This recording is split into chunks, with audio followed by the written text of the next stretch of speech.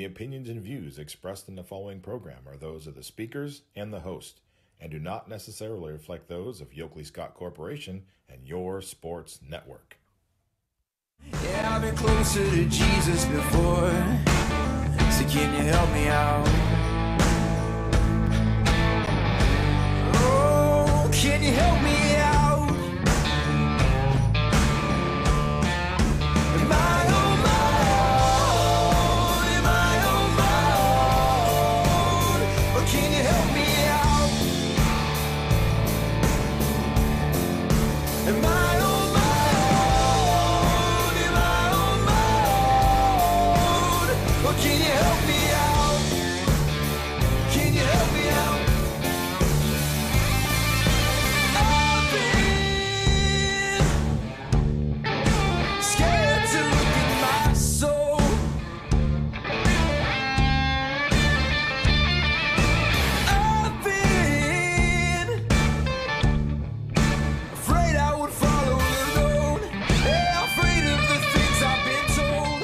Welcome into a Tuesday edition of Running Point presented by Greenwood Chevrolet on Mahoning Avenue in Austintown. If you're in the market for a brand new or slightly used automobile, you owe it to yourself. Hell, you owe it to your wallet to check out the good folks at Greenwood Chevrolet on Mahoning Avenue in Austintown.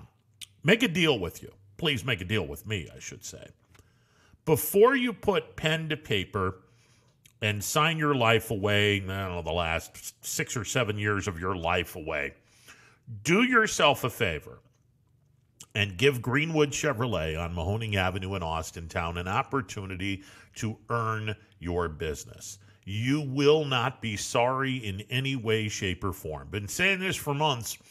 There's three great qualities that a car dealership must have. First and foremost, you got to have a sales department and a sales department that you can trust, a sales department that is not going to sell you a damn lemon. And that's exactly what Greenwood Chevrolet has. They have salespeople that will not sell you bad automobiles. Number two, you have to have a finance department, and courtesy of Tracy Bryden, 1979 Leetonia grad, don't you know? Uh, Tracy will get you in the car in the very smallest interest rates humanly possible. She will work her tail off to do that for you. And number three, I mean, obviously, your tires are going to be worn. You gotta you gotta rotate the tires. You gotta change the oil if you happen to back into something or far worse. And you need the service department to uh, fix some bumps and and some dents and all that all that other good stuff that comes with driving. Uh, the service department is a number one. Uh, add it all up, it is a tremendous car dealership and a dealership that you need to see before you put pen to paper. Greenwood Chevrolet on Mahoning Avenue in Austintown. Got a, a really nice show lined up for today. Rob Schmidt, the voice of the YSU basketball Penguins, will be calling in in about 10 minutes or so. Garrett Covington is the latest senior to say, I'm staying in Youngstown. And uh, the Penguins uh, put pen to paper on a number of kids transferring in to Youngstown State University. The portal has been used quite well. Uh, for the YSU men, we will uh, catch up with Rob Schmidt and uh, let everyone in on those details. Uh, coming up at 2 o'clock today, we will hear from YSU baseball coach, the manager, Dan Bertolini. Penguins, uh, they split a series with Milwaukee. Uh, they remain one game behind Milwaukee for second place in the Horizon League. Uh, they get a test this week. They get a serious test this week because the team that is one game in back of them in third place in the Horizon League, actually in fourth place, uh, the, the Penguins are in third. Northern Kentucky is a game behind uh, YSU for third place. So Northern Kentucky sitting in fourth place, and they are going to be hosting the Penguins in a four game series this weekend. It's a huge weekend. Penguins are definitely going to need to at least split, hopefully, take three out of four. Well, let's be honest, hopefully, sweep the damn series and put some distance between they and the Northern Kentucky Norse. Uh, so we will hear from uh, Dan Bertolini at two o'clock. Coming up at two thirty, the brand new head basketball coach at Poland. Now, it's not official for another couple of weeks.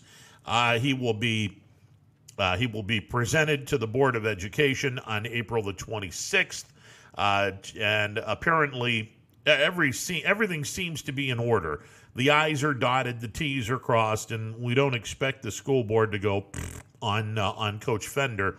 Eric Fender uh, is going to be the new uh, boys basketball coach at Poland, and Coach Fender is going to call in on the show at 2.30 this is a good hire. It's a really really good hire for the uh, poland bulldogs.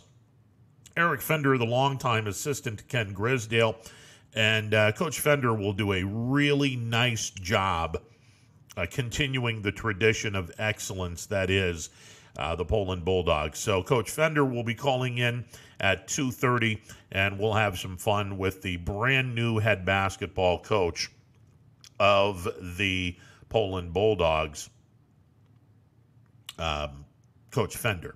He'll be calling in at 2.30. All right, last night, uh, the Indians uh, lose to the Chicago White Sox on a very bizarre play in which uh, Yu Chang, uh, the Indians' first baseman, uh, the White Sox had runners at first and second, one out, bottom of the ninth inning, score tied at three and a ground ball hit to Yu Chang, and Chang wanted to go to second base to get the force there and perhaps uh, get the return throw back to first base for an inning-ending double play. Unfortunately, uh, and, and Yu Chang is is very inexperienced at first base. Uh, this is his first year playing at first base. Yu Chang threw the ball and it went off of the White Sox player's helmet, ricocheted off his helmet, and went into left field. And that enabled the runner at second base to come around and score the winning run. White Sox beat the Indians in really weird fashion uh, last night by the final score of four to three. What happened after the game, through the night, and into uh, early this morning sickens me beyond belief. On social media, gee, what a friggin' surprise! Uh, Yu Chang was pretty much abused and called some pretty racist things. Um, Chang was, uh, yeah, he was he was called some pretty pretty ugly names. And Yu Chang this morning decided to turn the tables on these idiots and basically show all the insults that came to him. And you know, I've been saying this for years. Twitter is a is a great thing, and it can also be used to do something incredibly stupid and ignorant and unfortunately hateful. And this was a great example last night.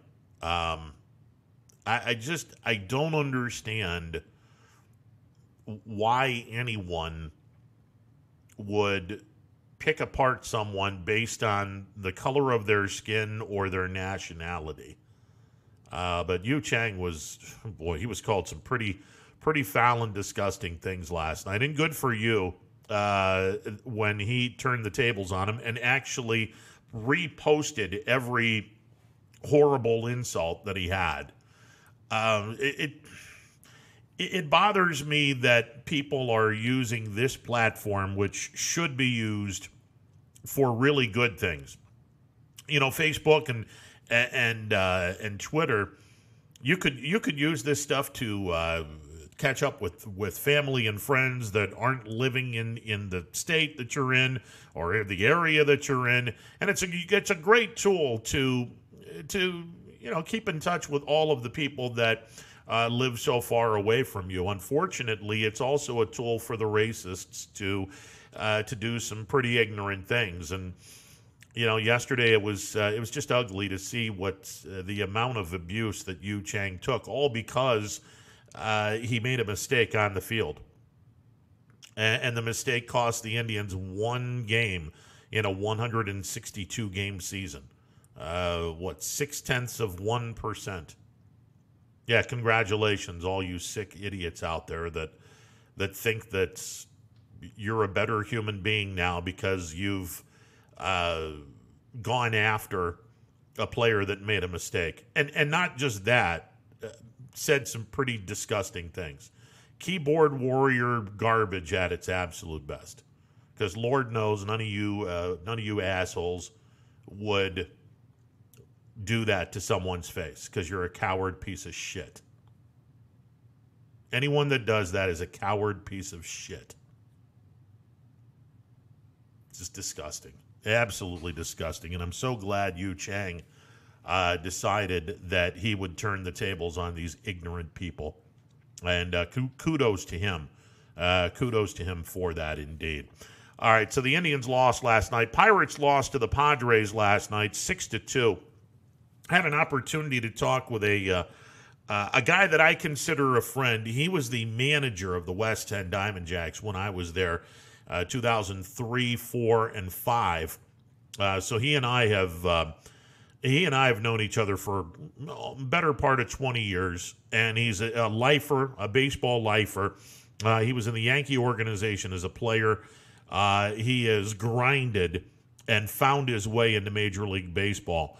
Uh, he started Major League Baseball with the Baltimore Orioles. He is now the San Diego Padres bench coach, and uh, Bobby Dickerson is uh, is with the Padres, and and uh, he and I uh, had a conversation this morning, and uh, just having a good time. And and he you know he stressed to me. He said, "Look, ten games into the season, there's you know a lot of people are putting the cart before the horse. This is." Um, you know, this this is a team that's talented, but we don't know how good this team is.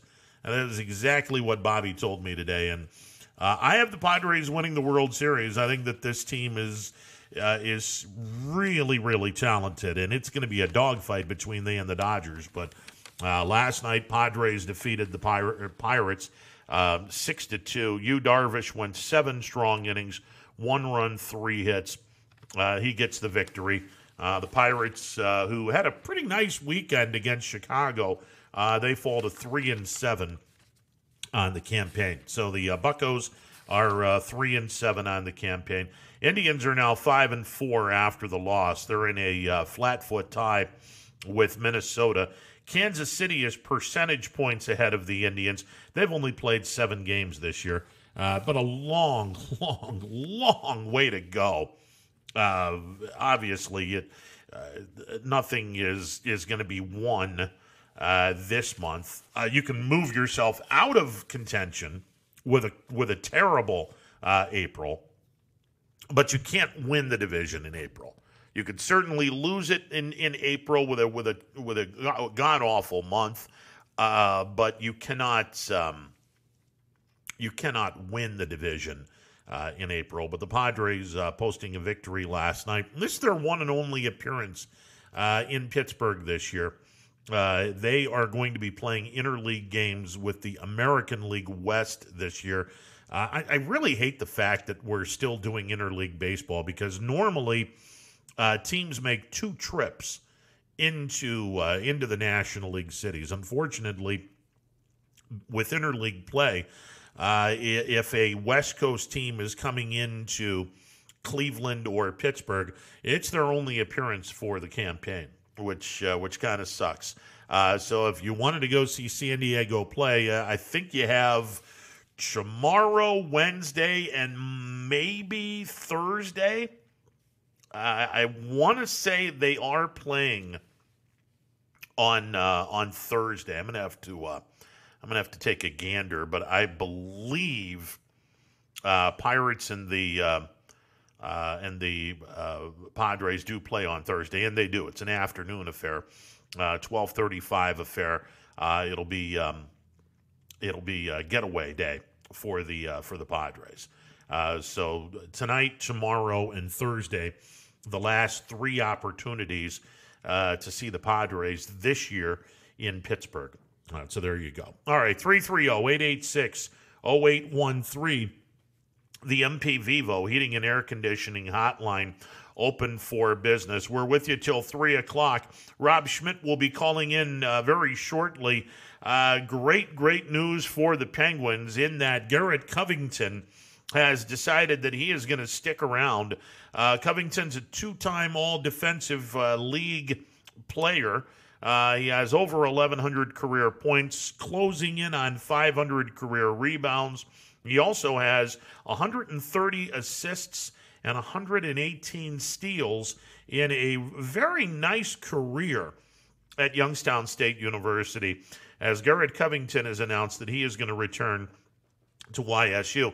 He and Michael Akuchie uh, are the two returning seniors. Still no word on Naz Bohannon.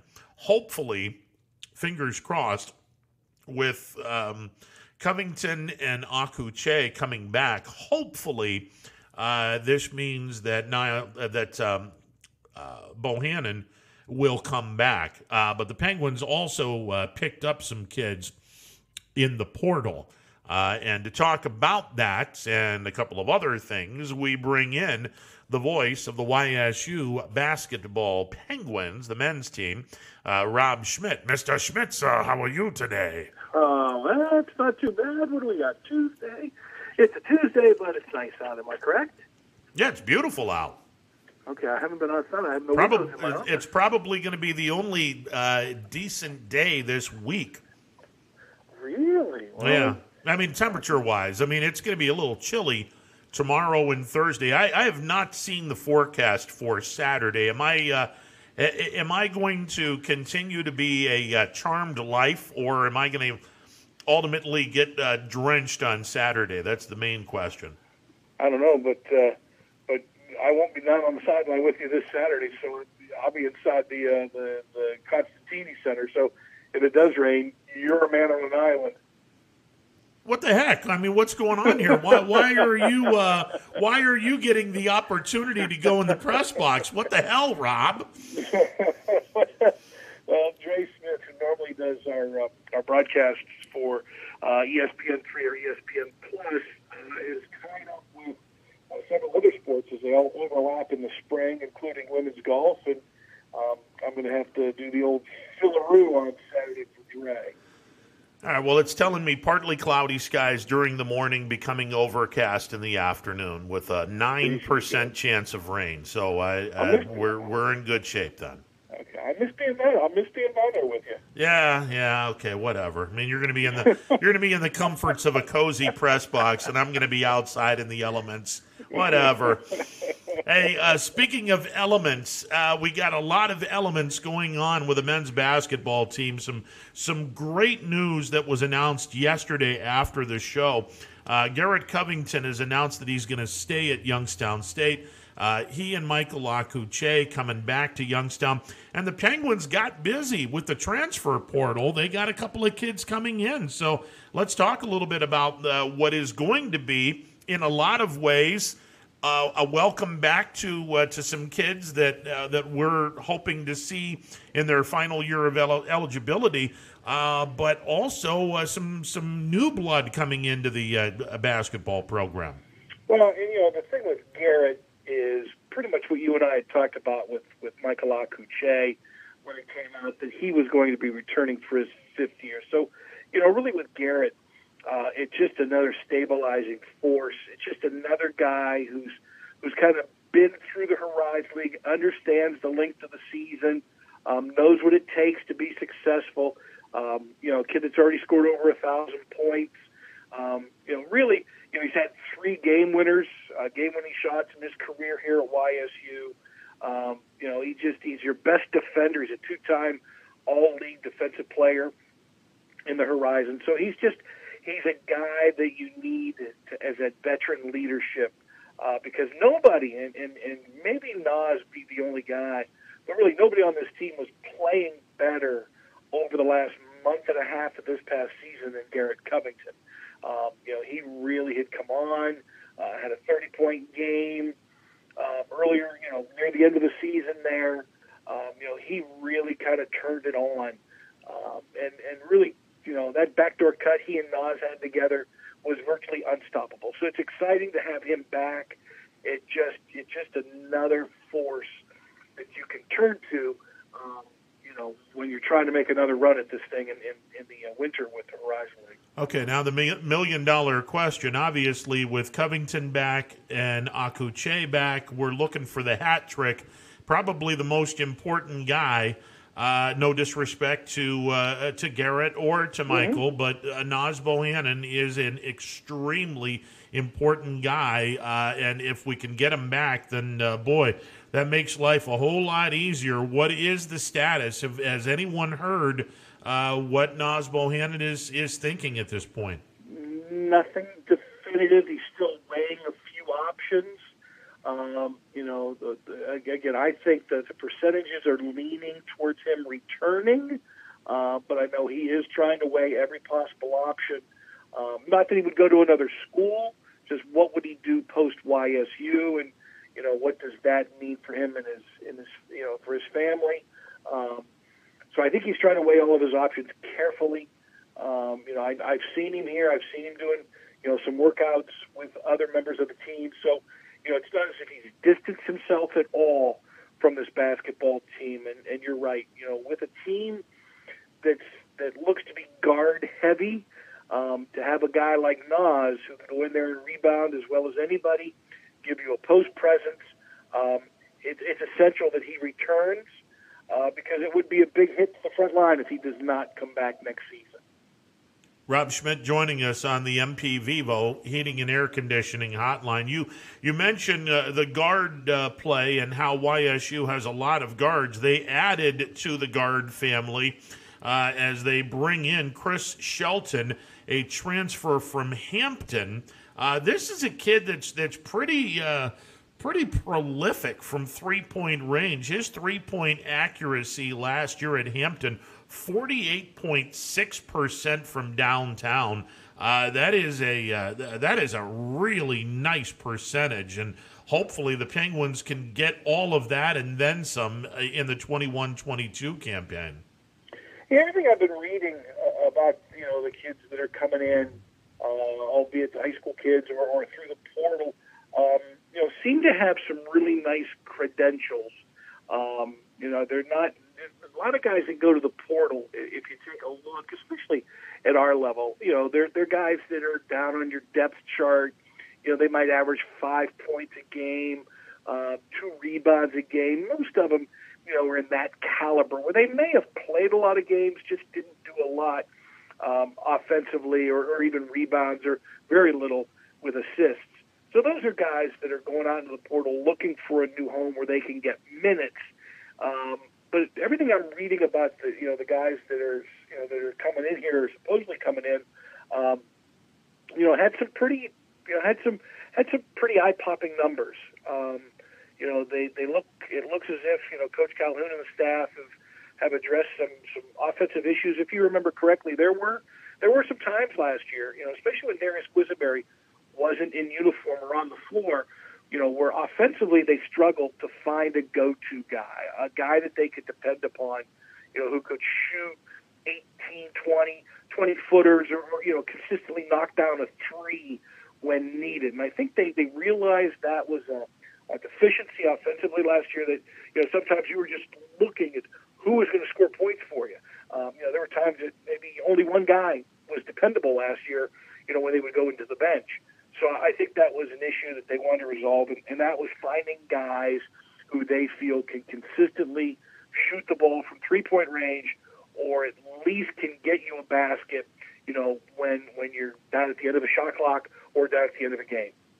Rob Schmidt joining me on the MP Vivo Heating and Air Conditioning Hotline. The other two guards coming to Youngstown State. Owen Long is a transfer from Maryville University. He's a 6'1 guard out of Sikeston, Missouri. Uh, 19.3 points per game, 47% from the field, 42 and a third uh, from three point range. Uh, and then you have the uh, the other player, uh, uh, Tevin Olison, a transfer from the University of the Cumberlands. that's a JC, if I'm not mistaken, a junior college. he's a 6'4 guard from Memphis, Tennessee.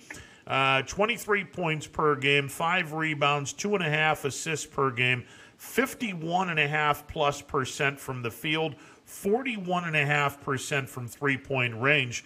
I believe, if I'm not mistaken, uh, I, I, still have some friends in uh, in the uh, Jackson area, and uh, I, one or two of our schools from Jackson uh, played uh, Tevin Olison when he was in high school in Memphis, and they uh, they told me this kid was pretty special. So I I, um, I look forward to seeing this kid play. Yeah, actually, the Cumberlands is an NAIA school, um, and if I'm not mistaken, that the, the connection very well may be um, one of our assistant coaches here, Ethan Faulkner, uh, before he joined the staff here at Youngstown State, actually worked for the College of the Cumberland. So, um, you know, he, I'm sure he still has some ties there, obviously, uh, but has a connection. Uh, but that's where he came from. Um, after playing collegiately at Northern Kentucky, he was on the staff there for three years at the University of the Cumberland. So um, I, I think he's still got some buddies there, um, and obviously they steered him in the right direction here with, with uh, that youngster.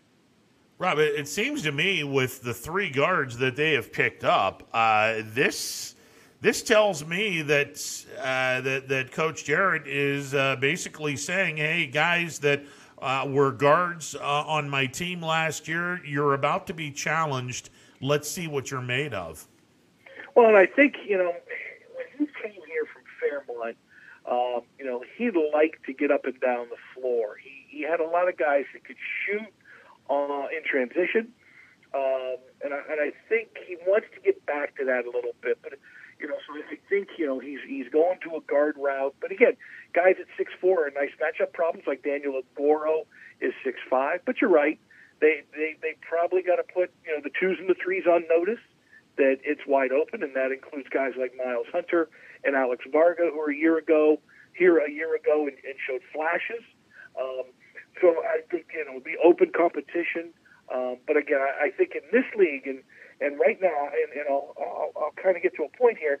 It's it's imperative that you have shooters. And here's here's my thought: is you know Cleveland State when you get down to it did a great job, obviously, winning the league, getting to the NCAA tournament, and and Dennis Gates deserves all the credit for that because in all honesty, when you look at that team individually, they're not very good by themselves. But you put that team together at Cleveland State, and as hard as they play, and as well as they execute, and they play defense, it makes them a tough matchup. And then you get guys like a Tre Gomillion, you know, who who at times can have a game, you know, like he had against us, where he scores over 20.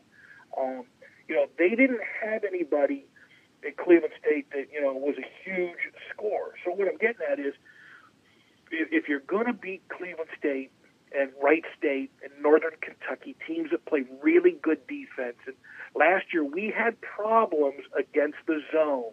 We had problems shooting over the zone, and teams knew that, and and they you know so we faced a lot of that a season ago. As you well know, you got to shoot over it. So I think they've realized that to beat the zone and to beat teams that you know play that pack line defense and try to sag inside inside around the basket or want to take Naz Bohannon out of the game like Oakland did, you've got to have some guys that can shoot the ball consistently. And and I think you know to, to our guys' credit, uh, the staff went out and I think they addressed that problem. Um, you know to an extent that now you know hopefully you've got more than enough shooters to overcome you know any of those lags that we had last year on the floor. Rob, the talent level is certainly there from a shooting standpoint. There's there's some kids left over, and I, I still am very high on uh, on Alex Vargo. I I mm-hmm. truly believe that Vargo is going to be the guy uh, that's going to live up to expectations, and, and I expect him to uh, to be a major scorer in the next year or two with this team. Uh, but but certainly the potential is there. Uh, if you get uh, if you get Naz Bohannon to uh, to come back, uh, there's going to be all kinds of expectations for this team because. Truth be told, I don't think that there is, at least in the Horizon League, I don't think there will be a weakness on this team within the context of the Horizon League if Naz Bohannon comes back. And we'll have a lot of expectations for this basketball team. Yeah, I'd like to see one more big, but you're right. We you know we didn't have that guy last year, so it wasn't as if you know they've got to fill that void coming into the season. You do get Jameer Thomas back, albeit you know coming off the ACL. We'll see how that responds. You know what he'll be able to do in the first you know month and a half of the season as opposed to the second half of the season. I think he'll he'll make dramatic improvements. Um, but yeah, if Naz comes back, then you feel better inside. Should he not come back, you now have to find a big man to to further get inside to help Akuchie and and Jameer Thomas, because other than that, that's really where you're kind of thin. If you remember last year, you know, at times Jeff Hampirian at six four had to play down low and guard guys much bigger than him, which you know really put us at a disadvantage. So if Naz comes back, it, it sure does take the you know take some of that some of that responsibility off of finding another big man. Well, and, and you made mention uh, with Michael Akuchie coming back, and we had this conversation when uh, when he made the announcement. The big winner in that, not just the the Penguins as a team, Sheik Traore.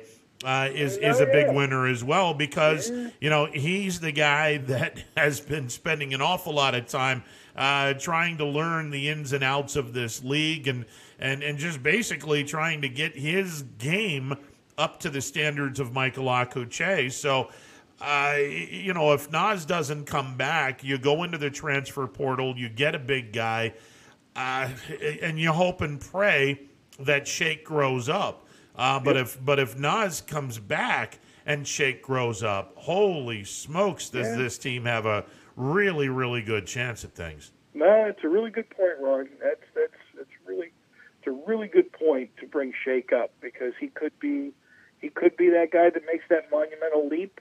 Um, he'll still obviously be considered a freshman. Um, yeah, no, you're you're 100 percent right about that. I, that's a it's a great point when you include Shake into the mix um, because I know they were high on him prior to last season.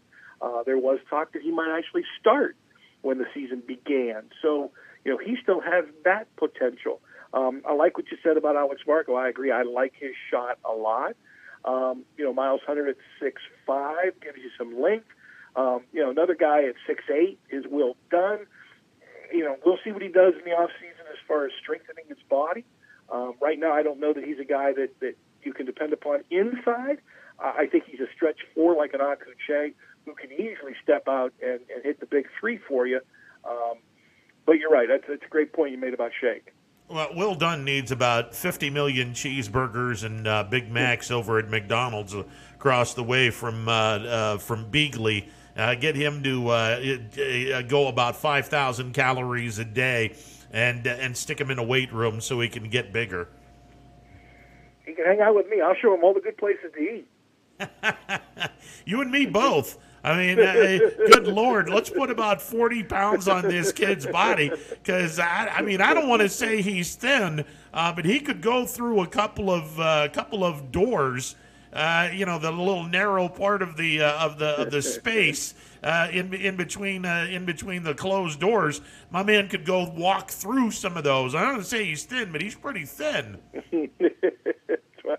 yeah, this will be uh, it'll be fun to watch him mature, and, and this summer will be big for his his step forward at the collegiate level. Yeah, this is good news for uh, for the Penguins, and you know I, I'm going to be really curious, and I think Jerrod Calhoun uh, can speak of this as well. There was an awful lot of expectations put on this team at the beginning of the year. My God, even Dick Vitale was uh, was raving about how uh, Youngstown State was going to be uh, taking care of business in the Horizon League this year. That they were the team to watch. Uh, and I don't know if that really affected some folks, but man, if if um, if there's more expectations on this team this year, I would think that the team is going to learn from what happened last year and, and roll with the "we believe in you" uh, type of talk. Roll with that in in any way, a, a little bit better than what they did last year.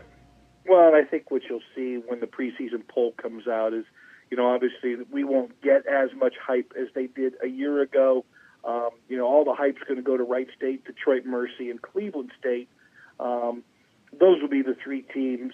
Um, if Oakland loses um, uh, Daniel Oladapo, you know they they'll they'll, they'll struggle um, early on. But yeah, those, your three darlings this year are going to be Wright State, Detroit Mercy, and Cleveland State. Um, so you know, I think that'll take a little bit of the preseason pressure off of our guys, a chance to, you know, practice a little harder. Obviously, if there's no COVID restrictions this year, they can get in the gym sooner uh, to try and mesh with these newcomers um, and the guys that are returning.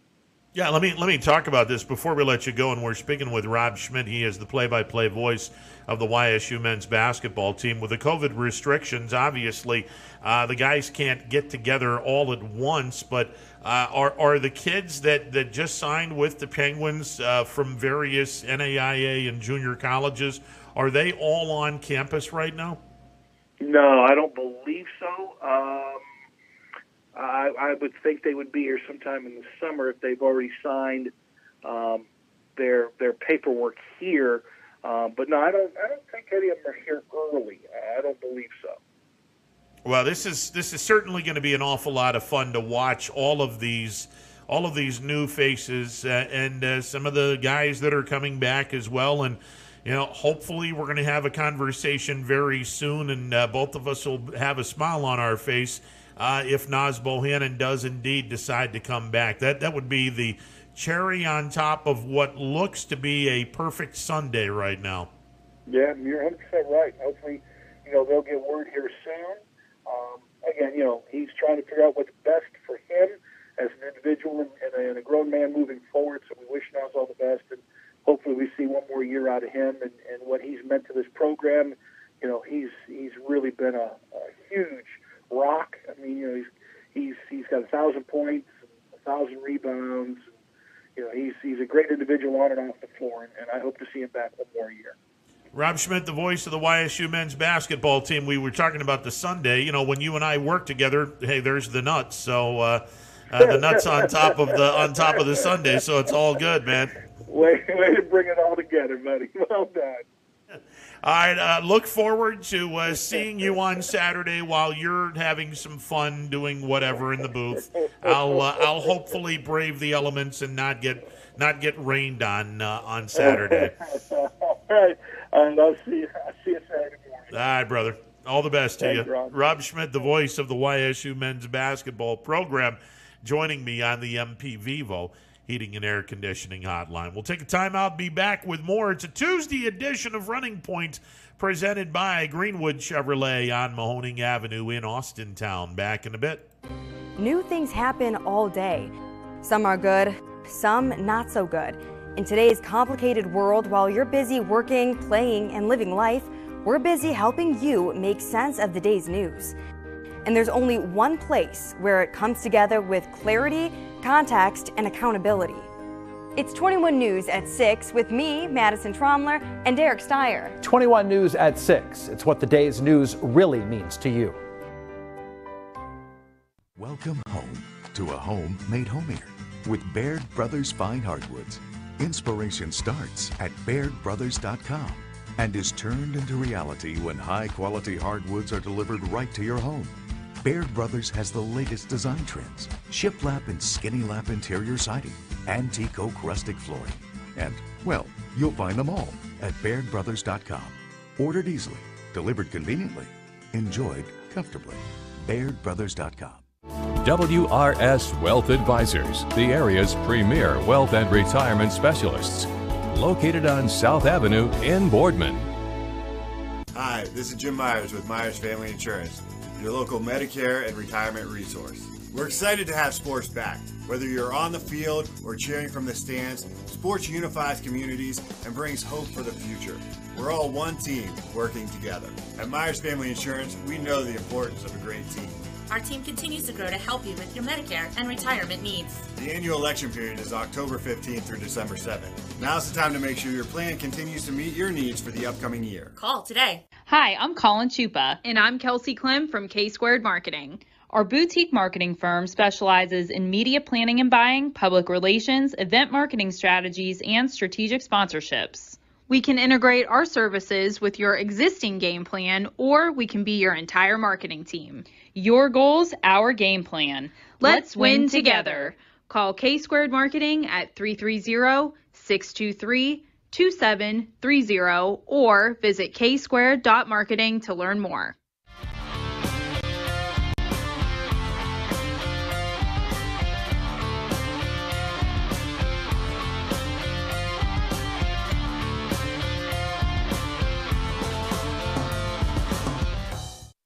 Chevrolet, Hubbard can help you get the financing you need, regardless of your situation. I'm Tony Page, and I've helped thousands of customers in Northeast Ohio and Western Pennsylvania buy a vehicle.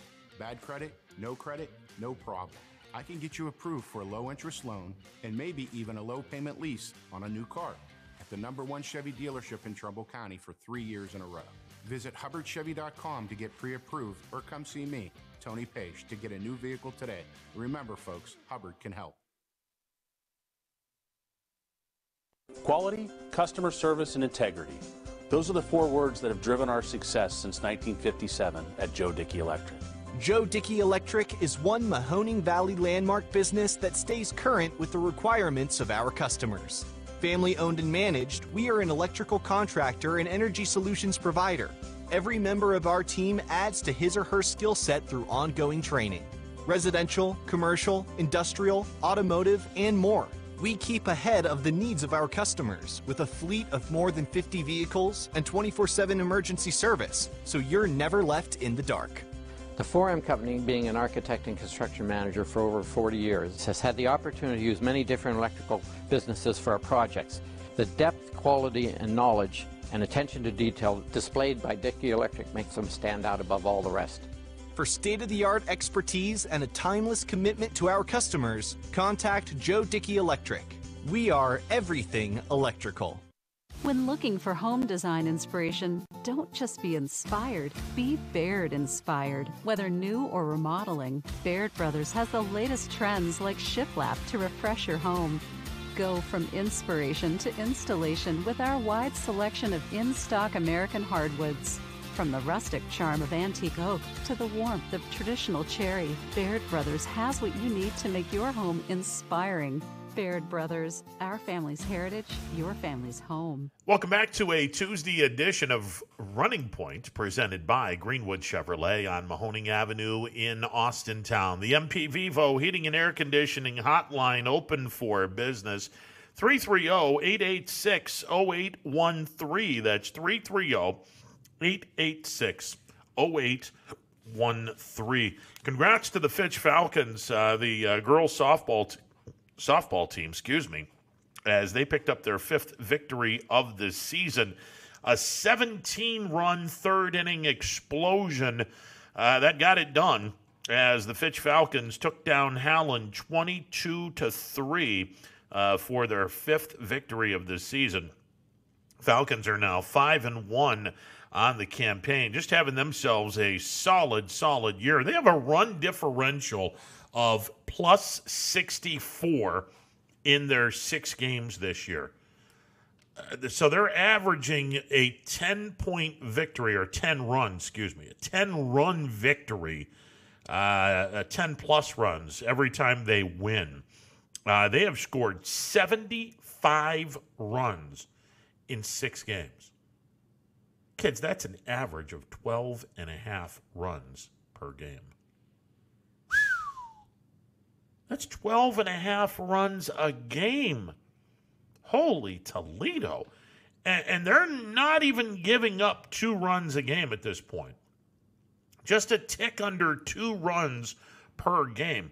That is some really, really obnoxiously crazy numbers put up by uh, Austintown Fitch uh, as they have a plus 64 run differential through six games. That is absolutely incredible.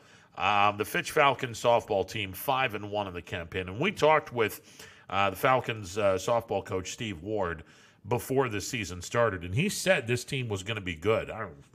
he wasn't lying. That's for dang sure. He was not lying. A 17 spot in the third inning. My goodness. I mean, you had to have batted around twice. You had to bat around twice in that inning. Uh, assuming you have 10 kids, assuming you have 10 kids in, in your lineup, and you score 17 runs, if there's nobody on base, if, if, if, the, if the Falcons left nobody on base and they scored 17 runs, then you had to add the three outs 18, 19, and 20. They batted around two times. Oh my goodness, that's that's crazy good. All right, we got a uh, good schedule on on tap for the uh, for the area. DJ will be over in the Newcastle area, New Brighton. That is the home of Terry Francona. Bet people didn't know that. Uh, Terry Francona, his father, uh, who's no longer uh, no longer alive, unfortunately, uh, Tito, and and they lived in New Brighton, which is if you're traveling on um, 14 and you go into Pennsylvania, 14 turns into uh, 51. Uh, you go into Chippewa and you pick up 376. I think the first or second exit uh, on 376 headed toward the airport is New Brighton. It's it. I mean, it's not that far away from uh, from East Palestine, and not that far away from Youngstown, as a matter of fact. Anyway, New Brighton is going to be making the trip to uh, the Newcastle area as they take on Mohawk today. DJ will have that game uh, beginning at 4:15. Uh, the Holy War at Bob Cene Park today. Cardinal Mooney will be hosting Ursuline. Uh, you got a doubleheader of baseball today uh, at LaBrae as Newton Falls will travel to Viking country to take on the LaBrae Vikings. Uh, softball action, Fitch will be hosting Howland again. Uh, Boardman uh, will be doing some track and field events uh, from Boardman High School beginning at 5 o'clock. Canfield is hosting Warren Harding uh, that game begins at 5 o'clock. McDonald is going to be hosting Springfield. That's a 5 o'clock start.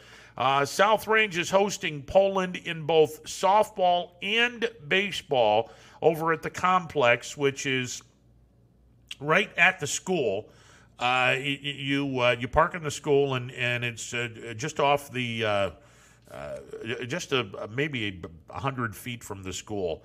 Uh, it's at the uh, uh, gorgeous complex on State Route 46. Poland is going to be playing uh, South Range in softball as well as baseball at the complex on State Route 46.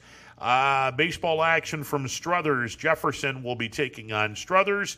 And baseball action from Fitch tonight. Howland is going to be traveling to Austintown to take on the Falcons. That game will start at 7 o'clock. So uh, it should be fun. Should be a good, good time as uh, Austintown uh, Fitch will be taking on Howland in both softball as well as baseball. 330-886-0813, the MP Vivo Heating and Air Conditioning Hotline, open for business. Business as we are with you until three o'clock today, uh, taking you at taking you through the afternoon on this Tuesday edition of Running Point presented by Greenwood Chevrolet on Mahoning Avenue in Austintown. All right, coming up at 2 o'clock today, we will hear from the skipper of the YSU baseball team, Dan Bertolini. Uh, that'll be coming up at 2 o'clock. Penguins split a series with Milwaukee over the weekend. Uh, they took the first two games of the series, lost the last two games. Well, I'll tell you what, and, and uh, Coach Bertolini said, hey, this team knows how to get it together offensively. And man, the uh, the bats came out the final two games of this series. Uh, they they started swinging the bats pretty well. Uh, but the Penguins had won the first two games of the series. Was kind of hoping the Penguins would take three out of four and take over second place in the Horizon League. Uh, but they dropped the final two games of the series. Uh, but the YSU Penguins do get the split, which at the absolute minimum, that's what you want. Uh, you as a uh, as a team that is uh, is playing in any sport, you want to be able to have a 500 record away from home. Uh, bare minimum, a 500 record away from home, and you want to completely dominate on your home field. And so far, that's what the Penguins are doing, at least in the Horizon League. Um, that's what they're doing. Uh, they're dominating their games uh, at Eastwood, and they're holding serve, at least for right now, they're holding serve uh, on the road. And that's exactly how the, uh, the Penguins need to do this. Now, there's a huge series coming up against Northern Kentucky. Look, Northern Kentucky is in fourth place in the um, in the Horizon League, and the top four teams go to the postseason. And for the Penguins, right now, they are in third place, and they're one game ahead of Northern Kentucky for fourth place, or they're in third place. Northern Kentucky is in fourth place, one game in back of the uh, of the Penguins. Now, UIC is in fifth place, and right now, if the playoffs were to start. UIC would be on the outside looking in, but they're 9 and 11. UIC is two games in back of Youngstown State, and they're in fifth place. Uh, Milwaukee is three games ahead of UIC. They're in second place. So you can see two through five is really bunched up right now. Two through five is a very, very competitive race for second through fifth place in the Horizon League. One of these teams isn't going to be in the postseason because uh, the Horizon League only takes the top four teams. So one of these teams, uh, Milwaukee, Youngstown State, Northern Kentucky, UIC, one of these teams won't be going to the playoffs this year. Uh, and and the other three will go uh, to the playoffs. Pretty much a foregone conclusion uh, that Wright State is going to be in the playoffs. Yeah, Wright State is uh, is going to be in the uh, in the postseason. I can't imagine that Wright State doesn't uh, get into the playoffs. They're they're right now, I believe they're thirteen and three. Now they're not playing. Uh, they are not playing baseball again this weekend as Wright State had a COVID situation uh, this will be the second consecutive week uh, that the uh, Wright State team is is not going to be playing baseball. Uh, they had their uh, cancellation against Purdue Fort Wayne. They're going to be canceled uh, this week against Oakland. They're going to be back at it against Northern Kentucky, and it'll be a three game series. Actually, it should be a four game series against Northern Kentucky. they will play the Norse um, uh, for the second uh, go around. Uh, they'll play the Norse.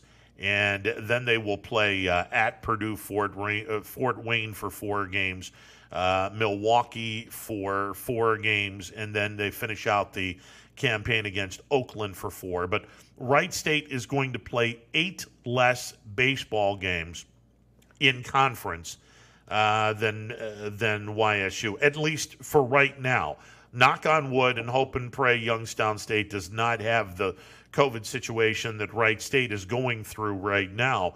Uh, the Penguins will uh, take on Northern Kentucky this weekend, four game series with Northern Kentucky. And then Oakland comes to Eastwood Field for a four game series. And that's going to be a huge series, uh, especially if the Penguins struggle against Northern Kentucky.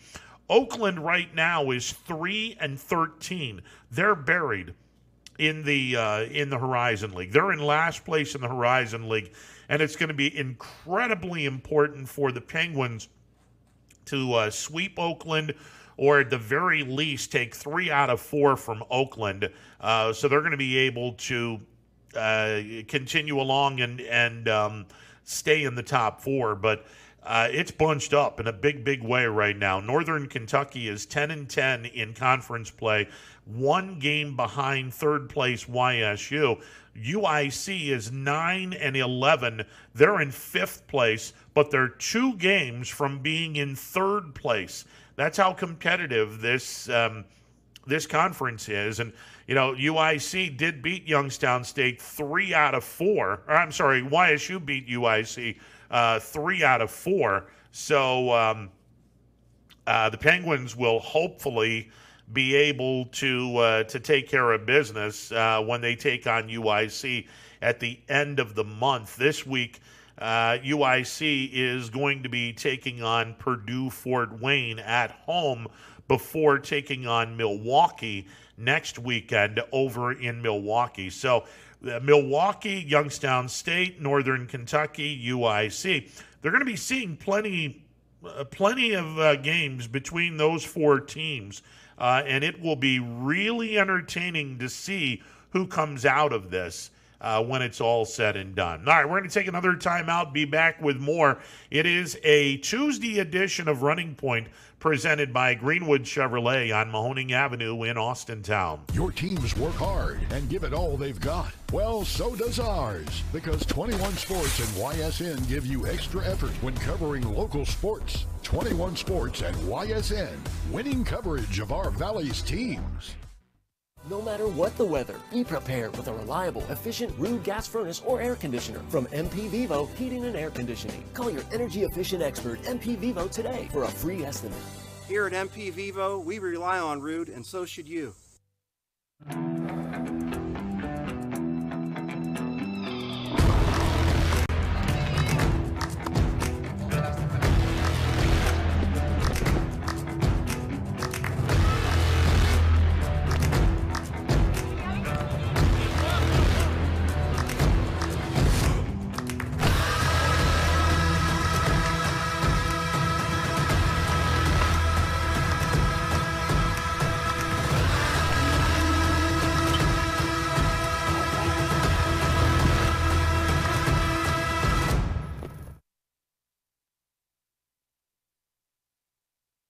Myers Family Insurance knows the importance of a great team.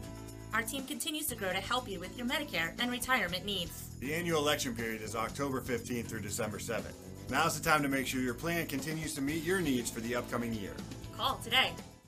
It's storm season, I think we're under the gun for some heavy storms over the next couple of hours. and Storm Tracker 21 is ready. This is probably the one we're keeping a closer eye on. On air, And locally, we're going to have a lot of eyes on our area. online, All right, let's talk high risk futurecast and the timing of this weather. on social media, and on our app. Notice we'll have scattered showers on Thursday. Stay ready with Storm Tracker 21. The severe weather threat now through around sunset. Your first and last stop with your tax return should be with me, Tracy Bryden at Greenwood Chevrolet in Austintown. No other dealer goes the extra mile to bring you the largest selection of vehicles at one convenient location. With guaranteed credit approval, I will find you the right vehicle and the right financing options for you. I am ready to go the extra mile to show you why no other dealer sells more cars, finances more, and gets you more for your refund than Greenwood Chevrolet in Austintown. Welcome back to a Tuesday edition of Running Points presented by Greenwood Chevrolet on Mahoning Avenue in Austintown. Ron Potesta with you. MP Vivo Heating and Air Conditioning Hotline open for business. 330 886 0813. That's 330 886 0813. Uh, we made mention plenty of baseball and softball on the network tonight. Uh, also, uh, Indians and Pirates both in action. Tribe taking on the Chicago White Sox. Game two of their uh, series in Chicago. I believe it's game two of a four gamer uh, in the south side of Chicago. Last night, weird ending. Uh, as the uh, Indians uh, were defeated by the White Sox. The White Sox getting the game winning run on a throwing error by Indians first baseman Yu Chang. As he tried to get a force at second base, his throw to the second base bag clipped the uh, member of the White Sox, uh, the runner uh, going from first to second, clipped him on the side of his helmet and then ricocheted out into left field. And that enabled the run who was the runner who was on second base uh, when the play uh, started. He was able to score without a throw at the plates as the White Sox pick up the victory. Uh, I believe Clase was on the mound in the ninth inning, suffered the loss uh, for the Indians. He is um, he's stepping up as the uh, closer uh, in the early going for the Indians, and why not? This is the guy that um, this is the guy that the Indians picked up in the Corey Kluber deal. Uh, and he was um, he was suspended last year when uh, he took uh, human growth hormone pills or steroids. He was uh, he was suspended for 80 games, and uh, Clase uh, immediately put himself in the doghouse. Uh, well, in the off season, he got himself right and came to spring training. And my goodness, this guy is uh, he is throwing the ball exceptionally hard. He always has uh, thrown the ball really hard. He's uh, he uh, had a fastball, and uh, scouts were saying that uh, his fastball was topping out at 100 miles an hour. Throws a cutter, uh, and sure enough, this guy has thrown 36 pitches in all and counting.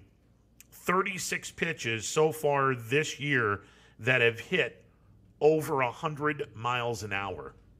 Uh, and that's just, man, that, that's impressive, uh, especially when you get a lot of movement on a, uh, on a cut fastball.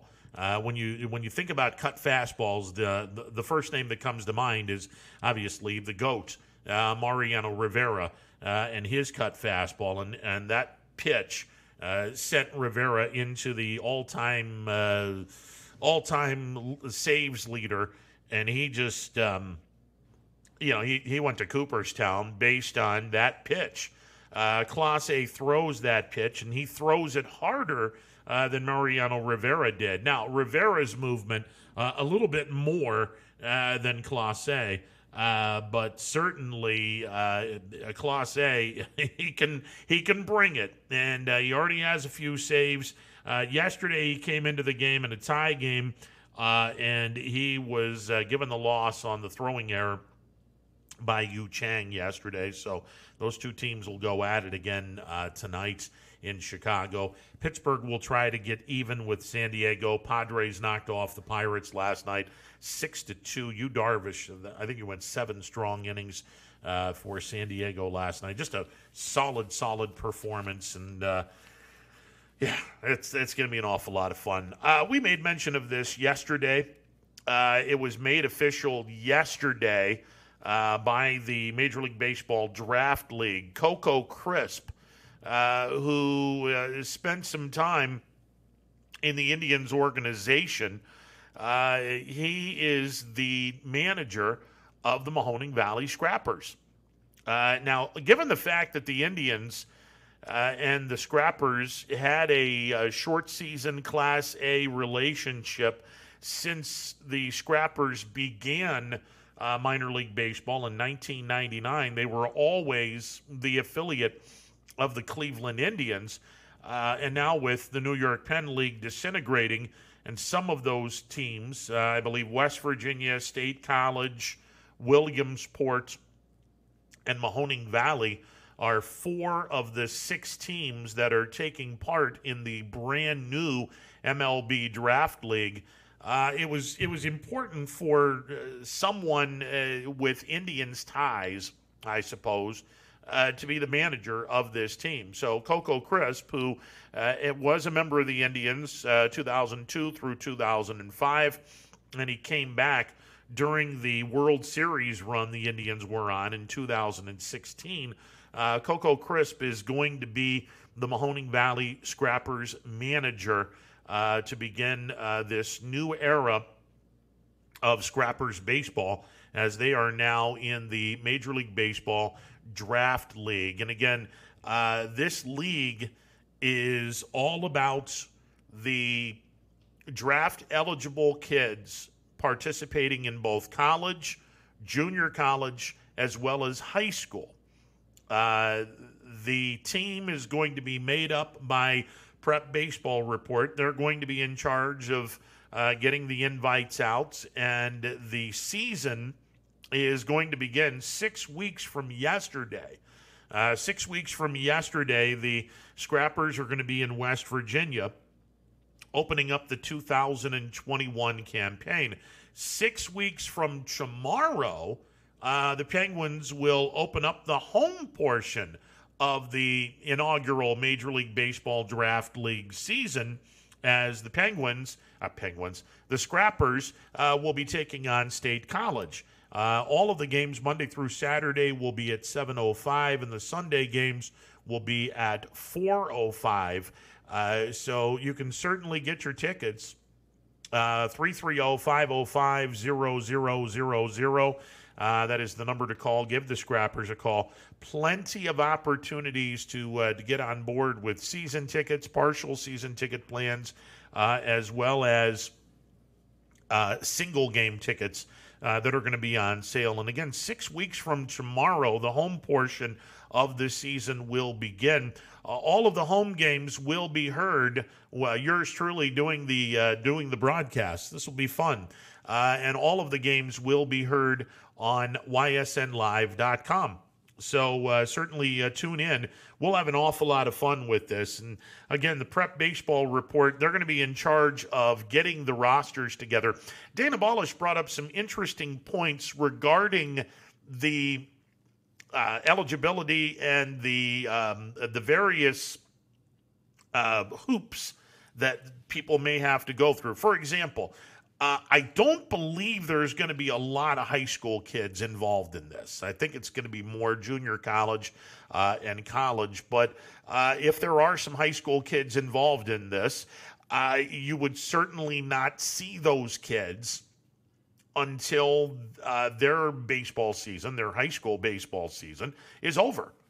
Uh, now, you know, here in Ohio, the the state tournaments are going to believe are going to be, I believe, the second week in June.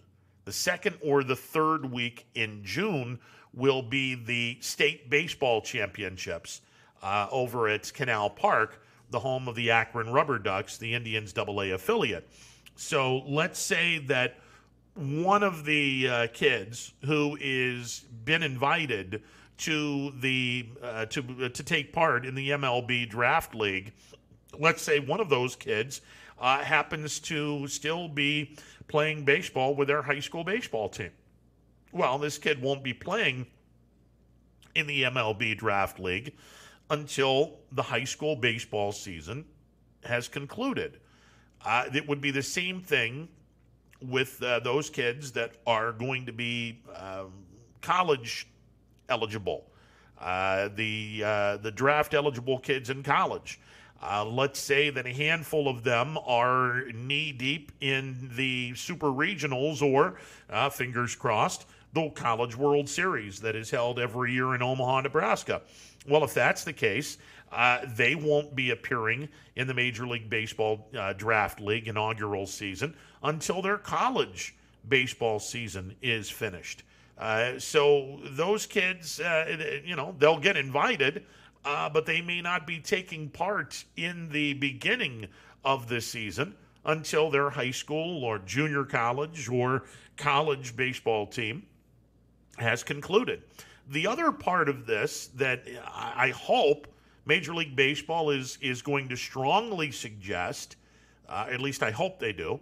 I, I would hope that they strongly suggest that kids that are drafted, and, and I expect most, if not all of the kids playing in this league to be drafted. Uh, we, we that's that's the goal is to have most, if not all of these kids playing in this league to get drafted, and, and that's the goal.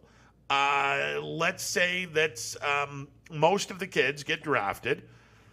What happens when the kid signs with the team? Let's let's say that um, player from uh, Vanderbilt is playing for the for the Scrappers, and he gets selected in the third round, and he immediately signs a contract. What becomes of this kid?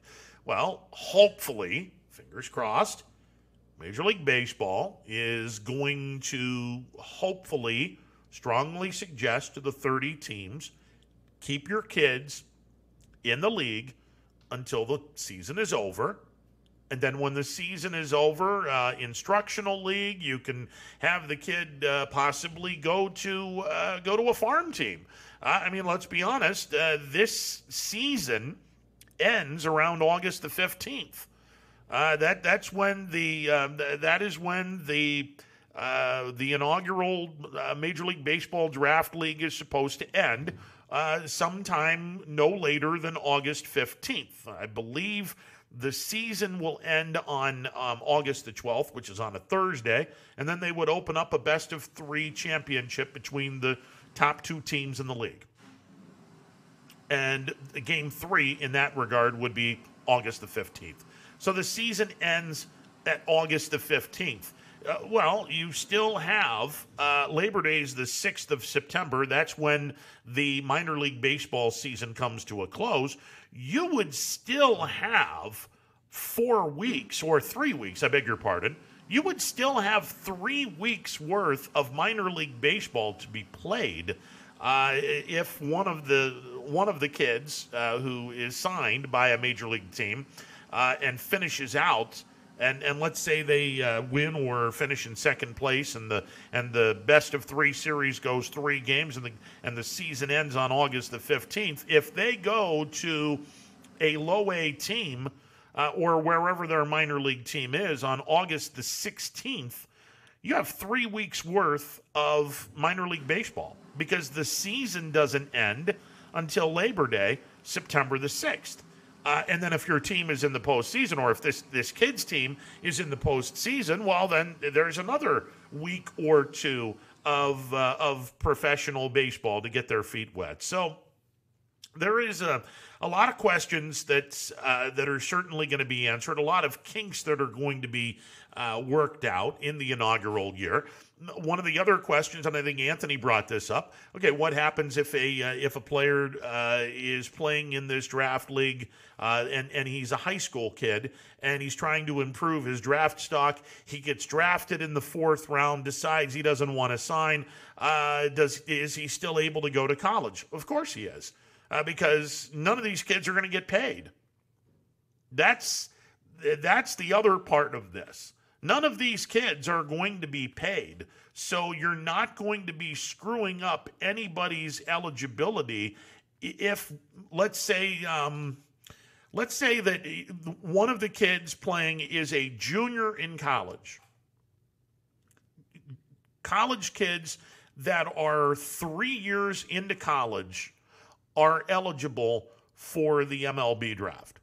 So let's say that a junior, uh, uh, not a redshirt sophomore, a redshirt sophomore or a junior, one or the other, uh, three years into college, and they go into the MLB draft league. But their draft, uh, they, they, they didn't do very well, and, and they wind up uh, ninth, 10th, 11th round in the draft.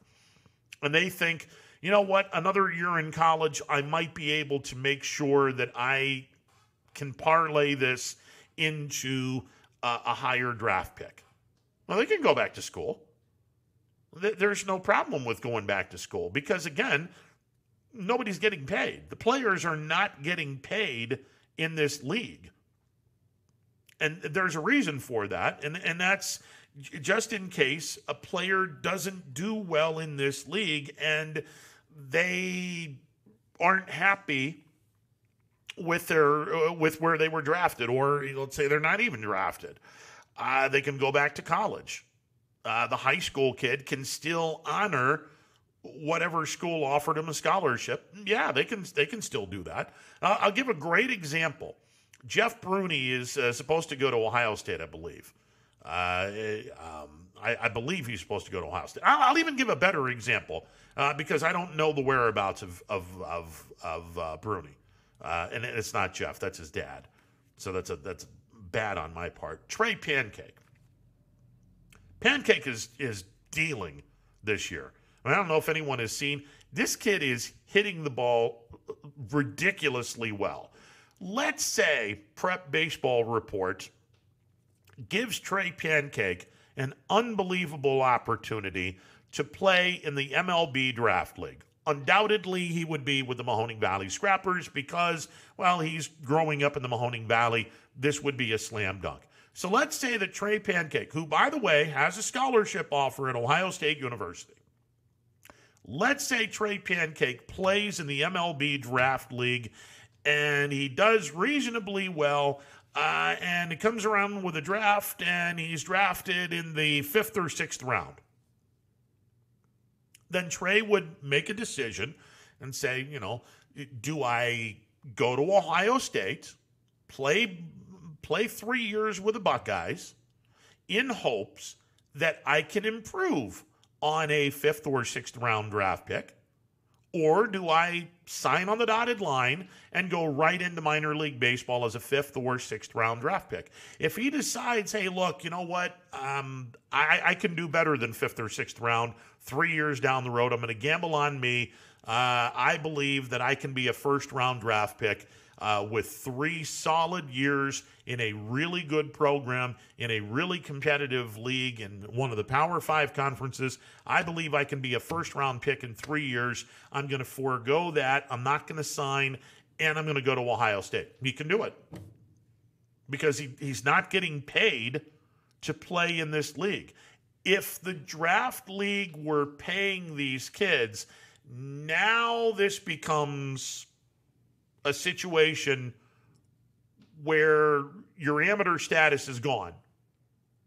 And the NCAA would then close the door on these kids and say, you're not welcome. You're you're playing technically you're you're a professional right now because they're paying you to play this game. Uh, that makes you a professional. You lost your amateur status. That's it. That's why the draft league isn't paying anybody. Uh, this is this is a brilliant concept, and again, brilliant concept in Major League Baseball are very. Uh, it's not very often, if at all, whenever I say brilliant concept and Major League Baseball in the same sentence. But this is a brilliant concept by Major League Baseball. Uh, the fact that they're not paying these guys that is is enabling high school kids to play in this league in hopes of getting a monster payday, i.e., a first round draft pick. Uh, if you get a first round draft pick in Major League Baseball, cha-ching, cha-ching, cha-ching, seven figures uh, of bonus money, which you're going to need because, uh, well, you don't get paid very much once you you know, do away with the bonus. You're not getting paid all that much to play minor league baseball. You're going to be living on your bonus for a little while. Uh, so it's it's a great opportunity, but it's also the opportunity for the college kids who still have some eligibility left, and the high school kids who have four years of eligibility left because they haven't started uh, they haven't started their college career yet all of these kids they have an opportunity to go back to college or, or, go to college if they choose. And the genius behind this is the fact that none of these kids are getting paid. So the main question is, how the hell are these kids going to uh, going to survive with no pay? Well, it's pretty easy. This is where the host families uh, come into play.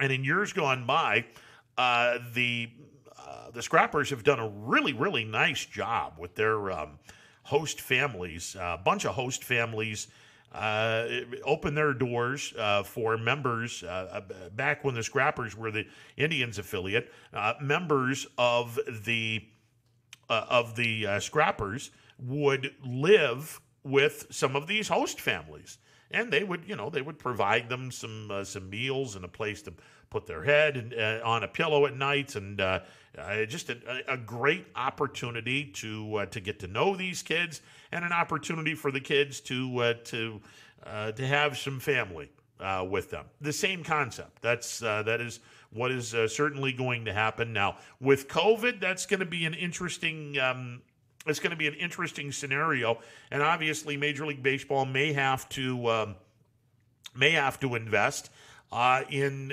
the uh, opportunities of uh, getting these kids uh, uh, some affordable housing. Um, you know, again, with COVID, I don't know what the protocol is going to be as far as the kids living with members of members of the.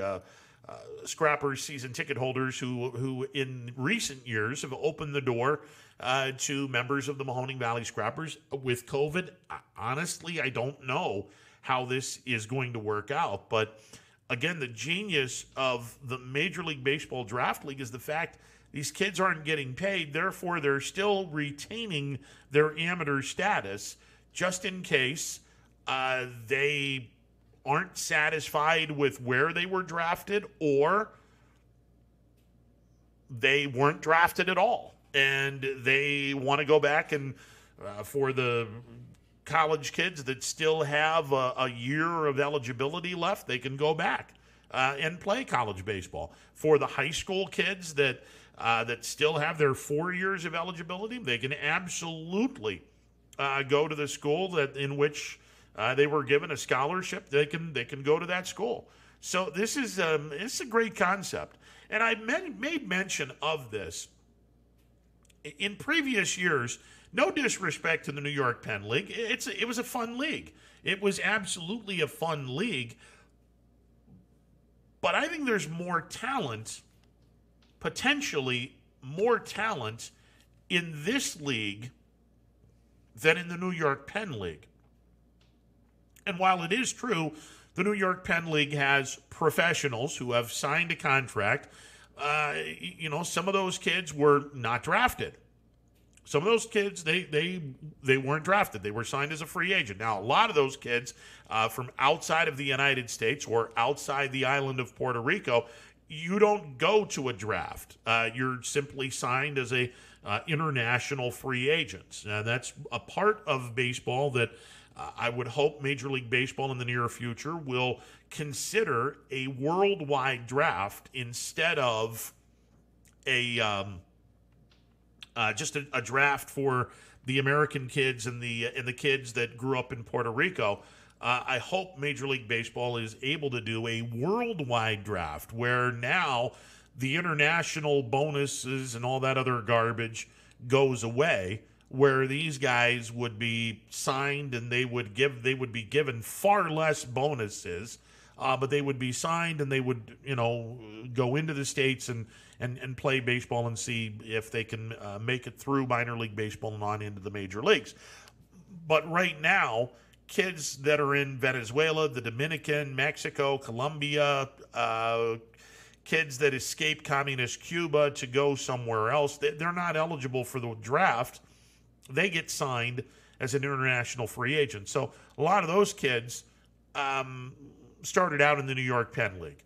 Uh, but this particular league could be a better league because we're assuming, and, and I might be wrong on this. I'll be curious to see what the numbers are like. We're assuming a very high percentage of the players playing in the Major League Baseball Draft League are going to be drafted. Now, not all of them, but a, a real high percentage of them will be drafted. So there is a pretty good chance that you could be seeing better talent than years gone by uh, with the New York Penn League. So it's a, it's a fascinating uh, thing that, that uh, the Scrappers have gotten themselves involved in. And given the fact that they're only one of four New York Penn League teams that have – survived, at least in terms of um, keeping their baseball. Uh, I know Hudson Valley and Brooklyn are going to be in organizational baseball. I believe Hudson Valley is in uh, high A baseball, and Brooklyn is now uh, in double A, if I'm not mistaken. Uh, so uh, those two organizations have um, uh, have moved on and, and will be playing full season uh, full season baseball. But then the four teams that uh, that were chosen to be part of the draft league, uh, they're going to be heading in a, in a different direction. But I, I'm sure that the folks in West Virginia, Williamsport, and State College are just as excited for the inaugural Major League Baseball Draft League as the fans here in the Mahoning Valley. And and I would hope when the season begins six weeks from tomorrow, the home portion of this season, when it begins six weeks from tomorrow, fireworks after the game, uh, hopefully we'll have a sellout crowd, uh, and or at least the maximum allowed uh, by the state of Ohio in this ridiculous COVID world that we're living in, and hopefully knock on wood, we get rid of this as soon as possible. All right, 330 886 0813, the MP Vivo Heating and Air Conditioning Hotline. Open for business. We're back in a bit. Stick around. Your first and last stop with your tax return should be with me, Tracy Bryden at Greenwood Chevrolet in Austintown. No other dealer sells more cars, finances more, and gets you more for your refund than Greenwood Chevrolet in Austintown. WRS Wealth Advisors is the area's premier wealth and retirement specialist. With our combined 70 years experience and comprehensive wealth strategy, we assist our clients attain their goals. Call 330-965-0370 to learn more about our individual and corporate financial planning services or visit wrswealthadvisors.com. Good luck, athletes! Hi everyone, this is DJ Yokley with Your Sports Network. We appreciate your support of YSN and welcome you to the YSN family. Our broadcast streams are brought to you live at no cost to you by sponsors that are local to this community. Without the vision and generosity of our sponsors and partners, we would not be able to bring this game to you today. So please support the great businesses and leaders that are making this game possible. And if you're a business in need of great advertising and sponsorship opportunities, feel free to head over to our site for more information on the right fit for you. We are local, we are loyal, and we are live. We are YSN. Ah, the details. Baird Brothers Fine Hardwoods is one fine ride. Perfect cornering, superb handling, sporty and stylish, power to spare, plus awesome mileage. Yeah, jaw-droppingly beautiful lines and well appointed with luxurious trim. Put more oomph in your life and start beholding the molding. Find your home's fine hardwood at BairdBrothers.com. For heating, cooling, and indoor air quality, the Mahoning Valley trusts MP Vivo Heating and Air Conditioning, offering worry-free repair, service, and installation. Call MP Vivo today for a free estimate. MP Vivo Heating and Air Conditioning. We're your energy efficient experts.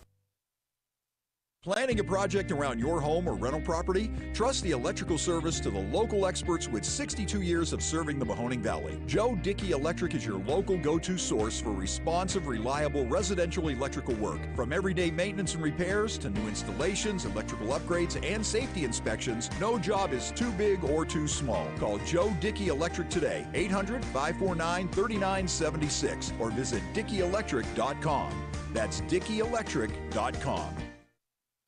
New things happen all day. Some are good, some not so good. In today's complicated world, while you're busy working, playing, and living life, we're busy helping you make sense of the day's news. And there's only one place where it comes together with clarity, context, and accountability. It's 21 News at 6 with me, Madison Tromler, and Derek Steyer. 21 News at 6. It's what the day's news really means to you. Welcome home to a home made homier with Baird Brothers Fine Hardwoods. Inspiration starts at BairdBrothers.com and is turned into reality when high quality hardwoods are delivered right to your home. Baird Brothers has the latest design trends shiplap and skinny lap interior siding, antique oak rustic flooring, and, well, you'll find them all at BairdBrothers.com. Ordered easily, delivered conveniently, enjoyed comfortably. BairdBrothers.com. WRS Wealth Advisors, the area's premier wealth and retirement specialists. Located on South Avenue in Boardman. Hi, this is Jim Myers with Myers Family Insurance, your local Medicare and retirement resource. We're excited to have sports back. Whether you're on the field or cheering from the stands, sports unifies communities and brings hope for the future. We're all one team working together. At Myers Family Insurance, we know the importance of a great team. Our team continues to grow to help you with your Medicare and retirement needs. The annual election period is October 15th through December 7th. Now's the time to make sure your plan continues to meet your needs for the upcoming year. Call today. Hi, I'm Colin Chupa. And I'm Kelsey Clem from K Squared Marketing. Our boutique marketing firm specializes in media planning and buying, public relations, event marketing strategies, and strategic sponsorships. We can integrate our services with your existing game plan, or we can be your entire marketing team. Your goals, our game plan. Let's, win, together. Call K Squared Marketing at 330 623 2730 or visit ksquared.marketing to learn more.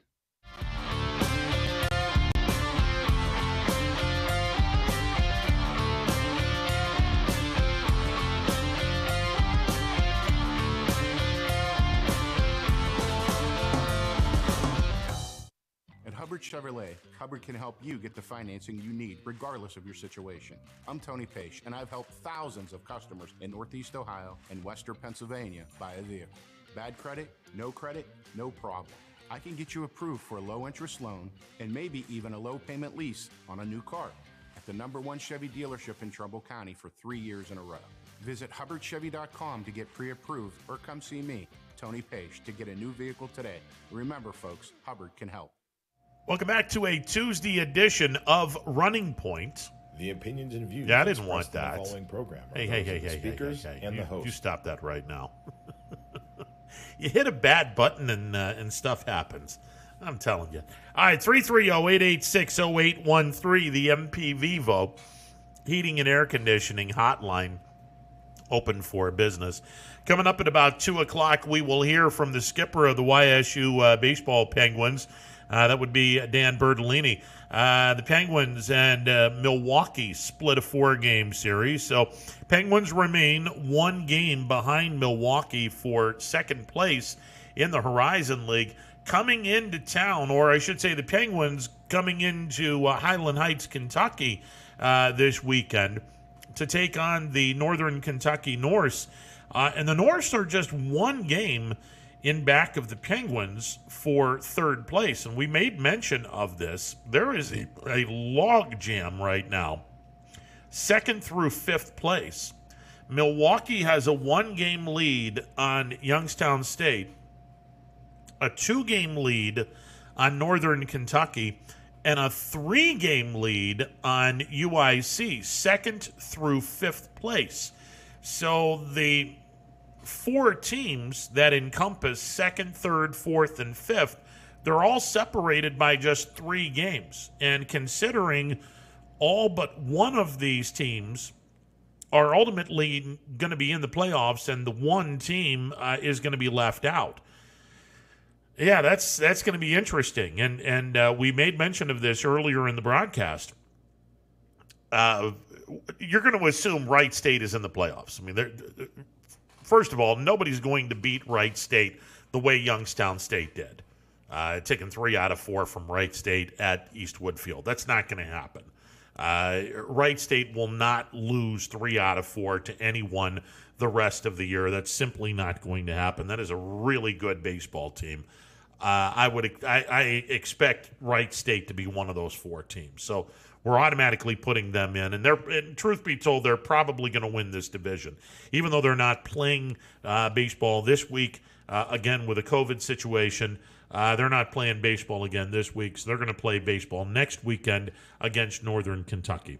Having said that, uh, so you've got three more teams and uh, four spots. I'm sorry, four teams for three spots.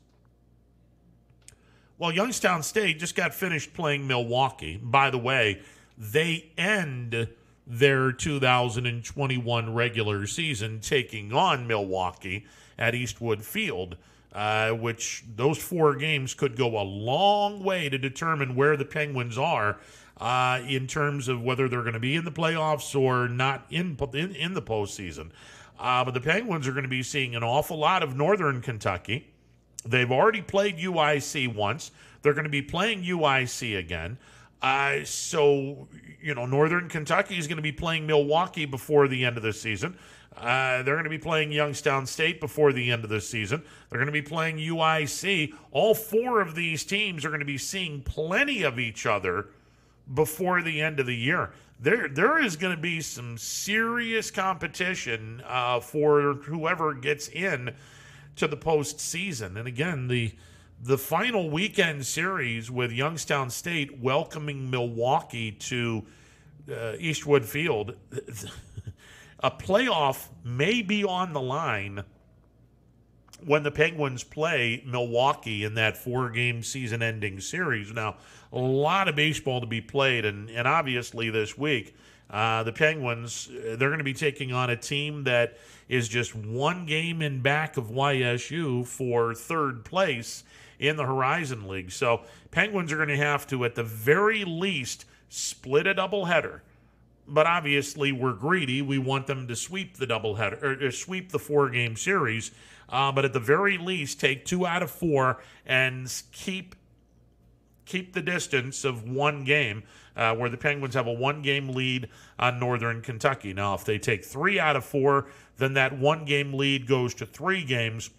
If the Penguins sweep Northern Kentucky, now you've got five games between yourself and Northern Kentucky. On the flip side of this, if Northern Kentucky were to take three out of four at home, now you're looking at a one game lead for Northern Kentucky, and YSU would fall one game in back of Northern Kentucky instead of being one game ahead. And, you know, I hope and pray to the baseball gods, small g, this doesn't happen.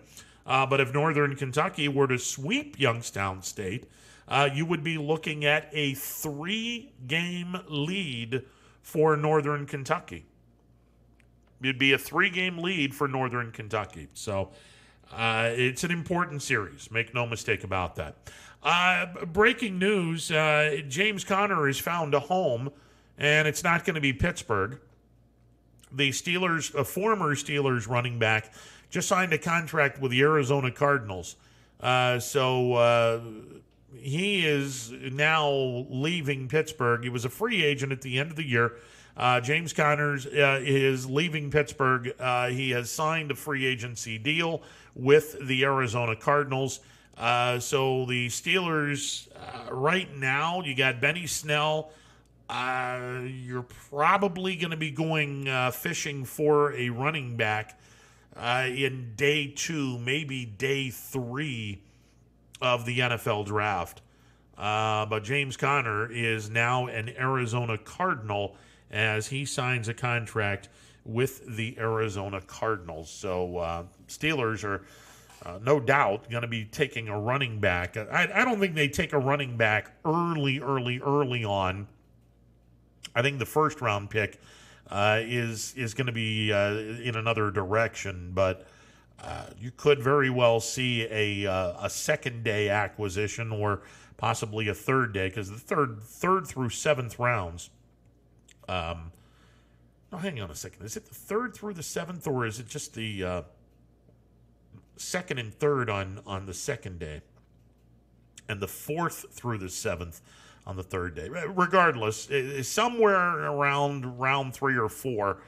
Uh, the Steelers will probably address the running back situation. And then again, maybe they fall in love with Etienne out of Clemson and grab him in the first round. Who knows? But uh, Steelers will now need a running back uh, to go along with Benny Snell as James Conner has signed a deal with the Arizona Cardinals.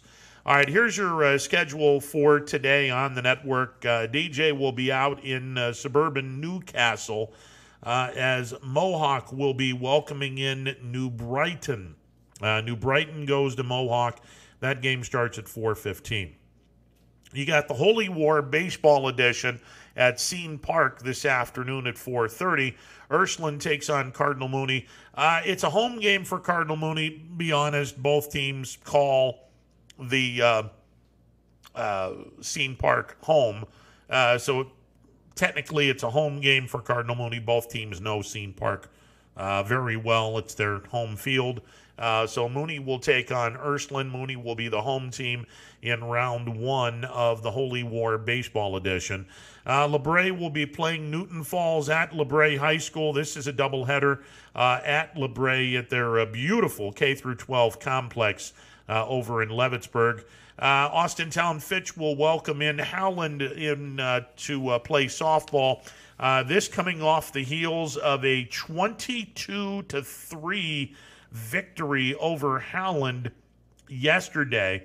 the Falcons scored 17 runs in the third inning. This is probably the most impressive statistic. Run differential has become the uh, uh, the big thing for whatever reason. The, the Fitch Falcons are five and one this year in softball. In their six games, they have scored 75 runs. 75. They are averaging 12 and a half runs per game. They're averaging 12 and a half runs per game. Here's the kicker they're averaging a tick under two runs for the opposition. The opponents are not even getting two runs a game. Falcons have only given up 11 runs this year in their six games. That is a run differential of plus 64. Plus 64. So if you add all of this up, 64 divided by 6, the Falcons are winning on an average of close to 11 runs per game. And, and we're including the one loss that they had. They have a run differential of plus 64 over six games. That is absolutely crazy good. That is just some crazy, crazy good numbers. Uh, so Fitch will be looking for their sixth victory of the season. They play Howland back at Fitch High School. Uh, that will start at five o'clock. Uh, Boardman High School has a track meet. That game, uh, that meet, I should say, starts at five o'clock. Canfield boys will be playing Warren Harding at Canfield High School. That is a baseball game that gets underway at 5 o'clock. We'll have it for you on ysnlive.com. McDonald is to- hosting Springfield in baseball. That gets underway at 5 o'clock. Also, getting underway at 5 o'clock today uh, at the beautiful complex on State Route 46 over at South Range.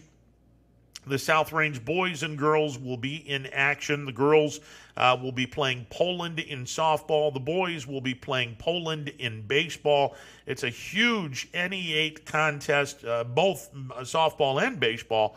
Uh, both games will get underway at 5 o'clock this afternoon at the beautiful complex on State Route 46. Uh, for those of you wondering, that complex is across the street from the gorgeous football facility uh, at South Range High School. Uh, so if you're traveling north, heading from Columbiana, traveling north to Canfield, you cannot possibly miss it. You're on State Route 46. Uh, you will go past the four way stop sign. Uh, the school is going to be on the left hand side. The complex is going to be on the left hand side. You'd have to be absolutely out of your mind, blind, or not paying attention to miss the complex. It's absolutely gorgeous. Uh, Struthers will be hosting Jefferson at Struthers High School in a baseball game that gets underway at 5 o'clock. And then tonight, under the lights, the Austintown Fitch baseball team will take on Howland. Falcons got a 6 0 victory last night as they shut out Howland last night. Uh, Austintown Fitch having themselves a really good uh, season to this point. Uh, not only the uh, softball team, the baseball team is having a really good season uh, to this point as well. Uh, Fitch will take on Howland in a All American Conference red tier matchup tonight from Fitch High School. Again, yesterday Fitch beat Howland. They shut them out six to nothing. looking for another victory. Their main competition right now would be the Canfield Cardinals. Uh, Canfield is playing Harding. Uh, if you're looking to go see, uh, you know, a solid uh, baseball game, plenty of games on the schedule that are, are worthy of going. That Mooney Ursuline game is going to be all kinds of fun. Uh, Mohawk and New Brighton, uh, and, and we want to continue to thank the, the good folks at Mohawk High School, which if you're if you're not familiar with New Castle, Newcastle has uh, the uh, the high school for the city, uh, New Castle High School, which is one of the bigger um, high schools, if not the biggest high school in Lawrence County.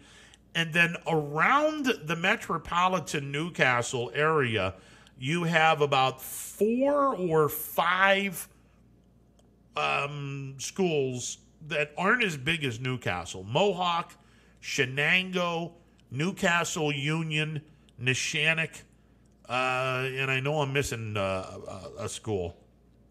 Uh, but th- those four, uh, off the top of my head Mohawk, Neshannock, New Castle Union, uh, Shenango, uh, those four are on the outskirts of New Castle, and they they have their own school districts.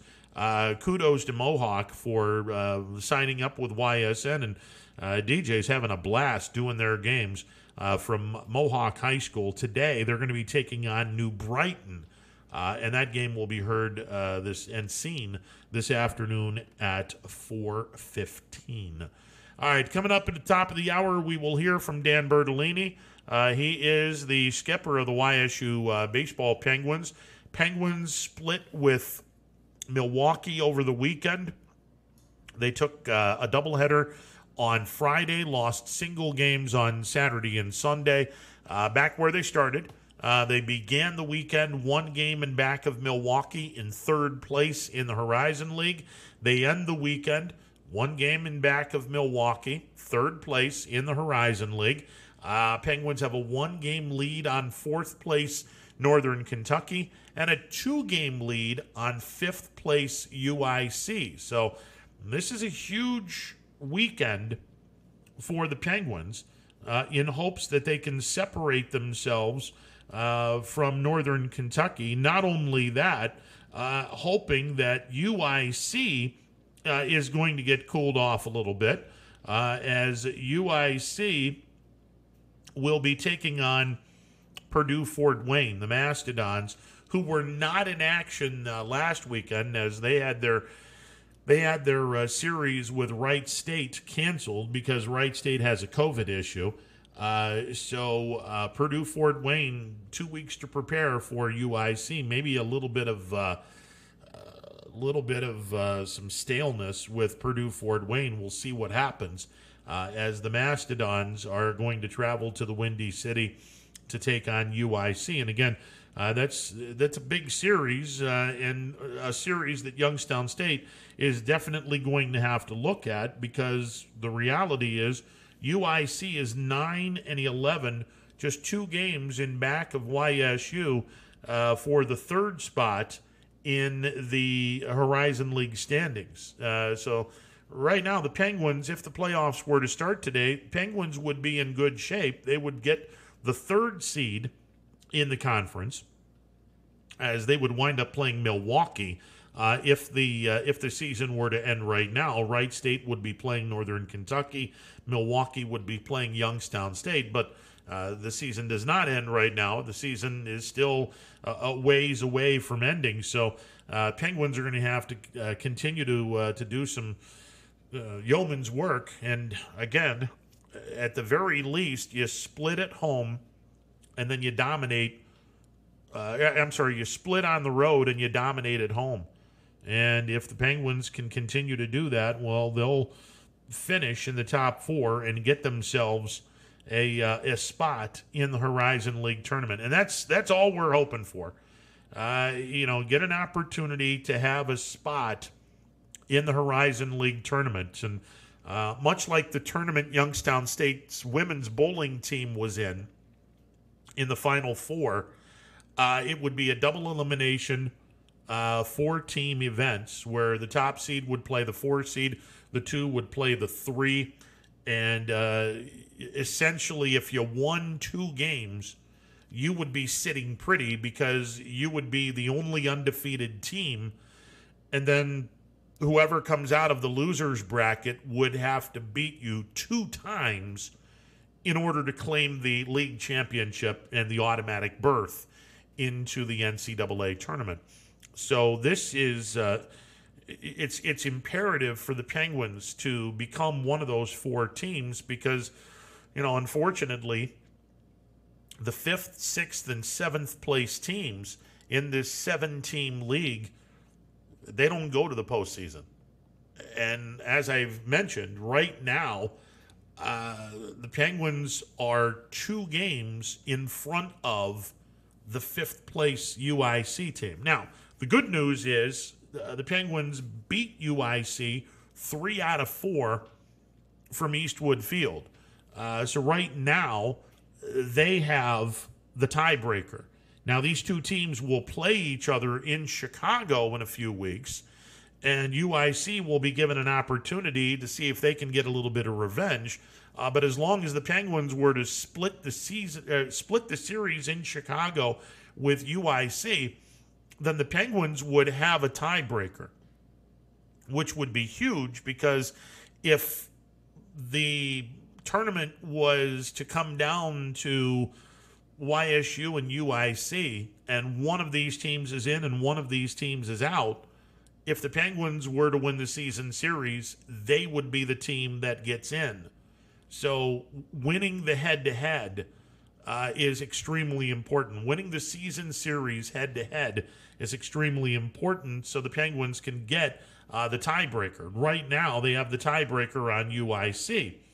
Uh, the only team, uh, as of right now, and I, I want to make sure that I'm right on this, uh, the only team right now, other than Wright State, uh, that the Penguins do not have uh, the tiebreaker in terms of head to head, because the Penguins went three and five against Wright State. They went three and one in Youngstown, but zero and four in Dayton.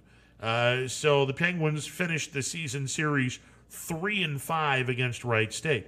They're three and one against UIC. They're two and two against Milwaukee. So other than um, and and they're three and one against Purdue Fort Wayne. So other than Wright State, Milwaukee's the only other team uh, in which the Penguins do not have uh, the tiebreaker. Uh, right now. Uh, the Penguins play Northern Kentucky four times this weekend. Uh, as I look at the schedule, they're not playing Northern Kentucky at Eastwood Field. So this is it. If the Penguins want to get the tiebreaker uh, from Northern Kentucky, they're going to need to take three out of four uh, from Northern Kentucky in order to get the tiebreaker. Because if the two teams finish in a tie, the tiebreaker is head to head. And unfortunately, the Penguins uh, will not be playing Northern Kentucky eight times this season. They're only playing them four times. So hopefully, the Penguins will be able to take three out of four, thus, get the head to head against Northern Kentucky. Uh, the, the Penguins split with Milwaukee, but they will be playing Milwaukee uh, four more times, the final four games of the regular season. A single game on Friday, the 21st of May, doubleheader on Saturday, uh, the 22nd of May, and a single game to close out the season on uh, Sunday, May the 23rd. Uh, so the Penguins have an opportunity to get a home or to uh, get a tiebreaker advantage uh, when they play Milwaukee in about a month or so to close out the uh, 2021 uh, regular season in this what has turned out to be a fantastic uh, baseball season to this point. Uh, Penguins currently 11 and 9 in the Horizon League, 16 and 15 overall, riding a two-game losing streak as they drop the final two games of the series to Milwaukee.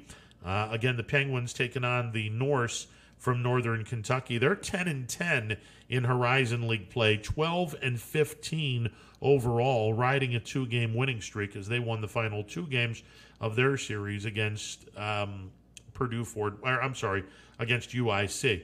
Uh, UIC is 9 and 11, 10 and 16 overall, riding a two game losing streak. And again, Wright State is at top the division. Uh, they are going to miss their second consecutive weekend uh, as they had COVID issues. So they're down again this weekend uh, as they were to have played Oakland this week. Uh, they are 13 and 3 in the conference, 13 and 8 overall. Uh, Wright State will be back at it, uh, not this weekend, but the following weekend as they take on uh, Northern Kentucky. So, be interesting to see what happens for sure. All right, we're going to take a timeout. On the other side, we will uh, hopefully bring up the manager of the YSU Baseball Penguins, Dan Bertolini. He's coming up in just a bit. It's a Tuesday edition of Running Point presented by Greenwood Chevrolet on Mahoning Avenue in Austintown. Back in a bit. Quality, customer service, and integrity. Those are the four words that have driven our success since 1957 at Joe Dickey Electric. Joe Dickey Electric is one Mahoning Valley landmark business that stays current with the requirements of our customers. Family owned and managed, we are an electrical contractor and energy solutions provider. Every member of our team adds to his or her skill set through ongoing training. Residential, commercial, industrial, automotive, and more. We keep ahead of the needs of our customers with a fleet of more than 50 vehicles and 24 7 emergency service, so you're never left in the dark. The 4M Company, being an architect and construction manager for over 40 years, has had the opportunity to use many different electrical businesses for our projects. The depth, quality, and knowledge and attention to detail displayed by Dickey Electric makes them stand out above all the rest. For state of the art expertise and a timeless commitment to our customers, contact Joe Dickey Electric. We are everything electrical. News doesn't stop after the sun goes down. Sometimes you just have to hustle to get it. At 21 News, no matter how far it is, no matter what it takes to get there, we're working to bring you the best stories and the freshest content at 11 p.m. with the context and clarity that makes it worth staying up for, no matter what time it is. 21 News at 11 with me, Aaron Simonek, and Derek Steyer. 21 News at 11, news that's worth your time. When looking for home design inspiration, don't just be inspired, be Baird inspired. Whether new or remodeling, Baird Brothers has the latest trends like shiplap to refresh your home. Go from inspiration to installation with our wide selection of in stock American hardwoods. From the rustic charm of antique oak to the warmth of traditional cherry, Baird Brothers has what you need to make your home inspiring. Baird Brothers, our family's heritage, your family's home. Hello, I'm Greg Burbick with G. Burbick Farms. For the last hundred years, my family has farmed in Columbiana and Mahoning counties. I began raising cattle in 1996 with the goal of providing a better product for you and your family on the dinner table. Our grass-fed and grain-supplemented black Angus beef are raised with no hormones, steroids, or antibiotics. We're known for our hometown-friendly service and incredible tasting products. We're locally owned and have customers across the tri-state area. Our products go from our farm to your family. Stop by our farm on New Buffalo Road or visit us on the web at gburbickfarms.com. Don't forget to like us on Facebook. G. Burbick Farms, it just tastes better.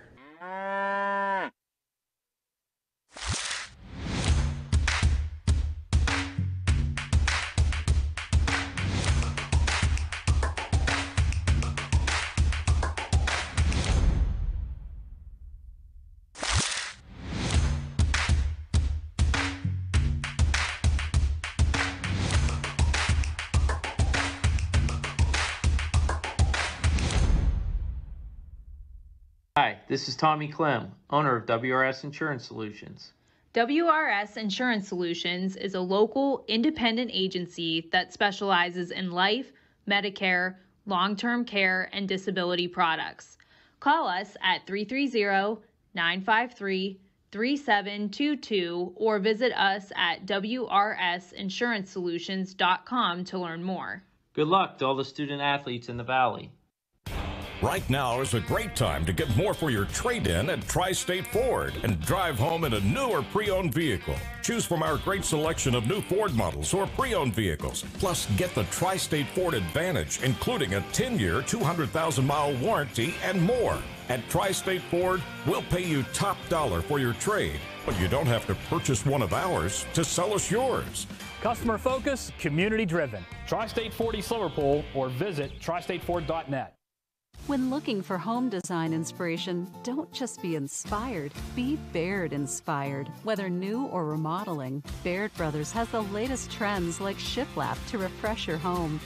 Go from inspiration to installation with our wide selection of in stock American hardwoods.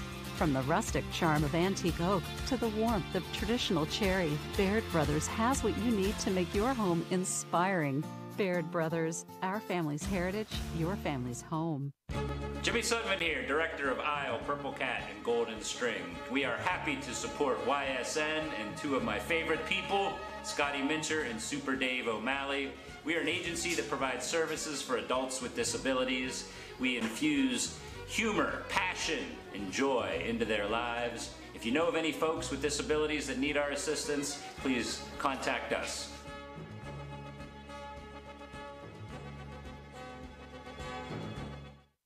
Welcome back to a Tuesday edition of Running Point presented by Greenwood Chevrolet on Mahoning Avenue in Austintown. Penguins uh, going to be opening up a series down in Highland Heights, Kentucky this weekend against Northern Kentucky, coming off a weekend in which the YSU Baseball Penguins split a series with Milwaukee. And to talk about that and so much more, we bring in the skipper of the YSU baseball program, Dan Bertolini. Dan, how are you today, sir? I'm doing just fine. All right, so I, am as greedy as you are when it comes to uh, when it comes to putting games in the W column. And when I saw that the Penguins had won uh, the first two games of this series, I thought, okay, uh, let's let's get at least one more, and and hopefully uh, get out of Milwaukee winning the series.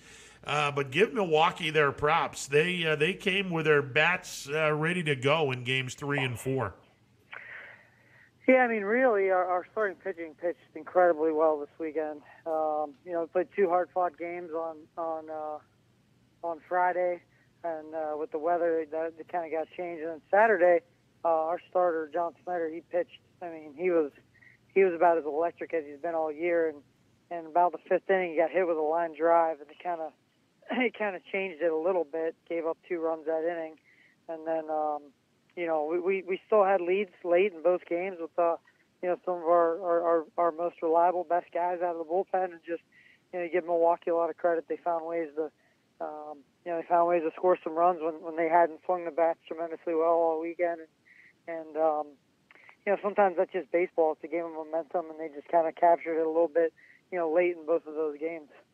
Is John Snyder okay? Uh, did did he suffer any uh, any injury that that's going to uh, be prolonged, Coach? No, miraculously, I don't know how it happened, but he got hit about as square as you could get hit in his pitching hand, and um, uh, you know, God's grace, he uh, he, he was able to to continue pitching, and then uh, pitch. I think he pitched into the seventh inning, and um, you know, I, I thought he was going to be super sore, you know, moving forward, and he's he's perfectly fine. So thank goodness for that because that would have been a you know, devastating loss the way he's thrown the ball this year. Well, speaking of pitching, uh, another week goes by, another week of, uh, of an honor for Colin Floyd. Once again, a national top 30 pitcher uh, for his performance in a seven inning complete game. One run, five hits, 12 strikeouts. Got his fifth win of the season in the Penguins' 2 1 victory over Milwaukee. Uh, he now has uh, the most strikeouts, and he has 50 career starts. Uh, both are all-time records. Uh, he is uh, second among all active Division One players in in those two categories. Skip, this kid has been absolutely phenomenal. Not just this year, his entire career at Youngstown State. Yeah, absolutely. I think uh, I think just for, just now they they just announced the Horizon League Pitcher of the Week, and he got it now for the third uh, week and back-to-back weeks, um, or two out of three. Should have got it last week too, in my opinion, but they were tired of giving him the award. Um, but uh, he's just been he's been incredible.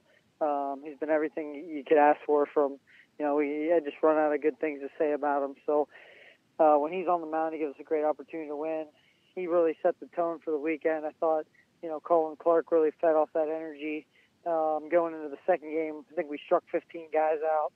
Um, in the second game, Clark struck out eight of the first nine hitters in game two of the doubleheader. So um, our starting pitching was dominant, and uh, you know Floyd sets that tone there uh, uh, yesterday in the, in the, or I'm sorry, Friday in the seventh inning game.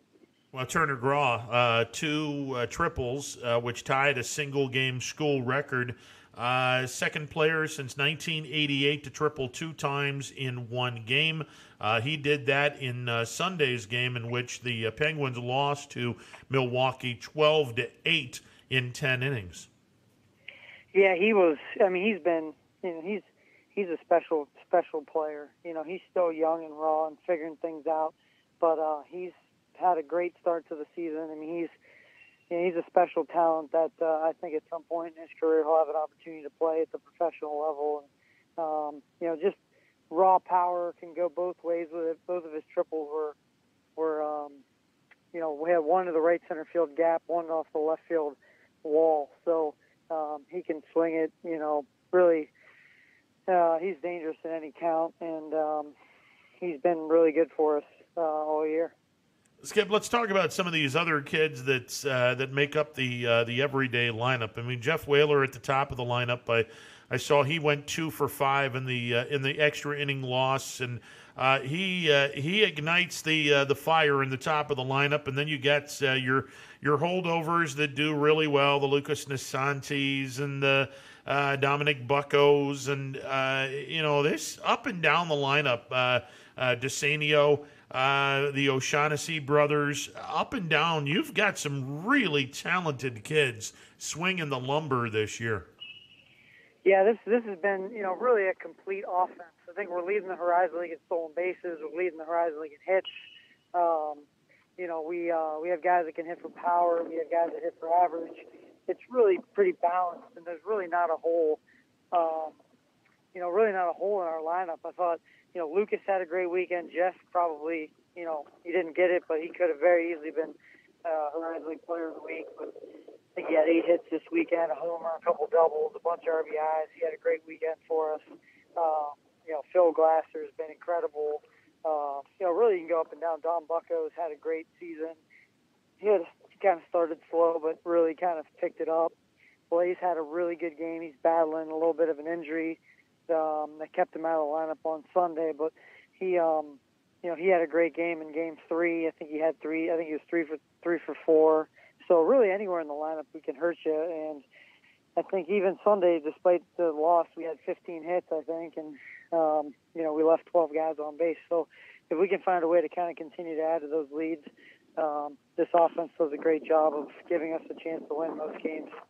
I, know that you uh, you rely so much on Nick Caruso and, and his defensive abilities behind the plate, but you know here's a kid that's hitting 300 on the dot, two homers, 19 RBI.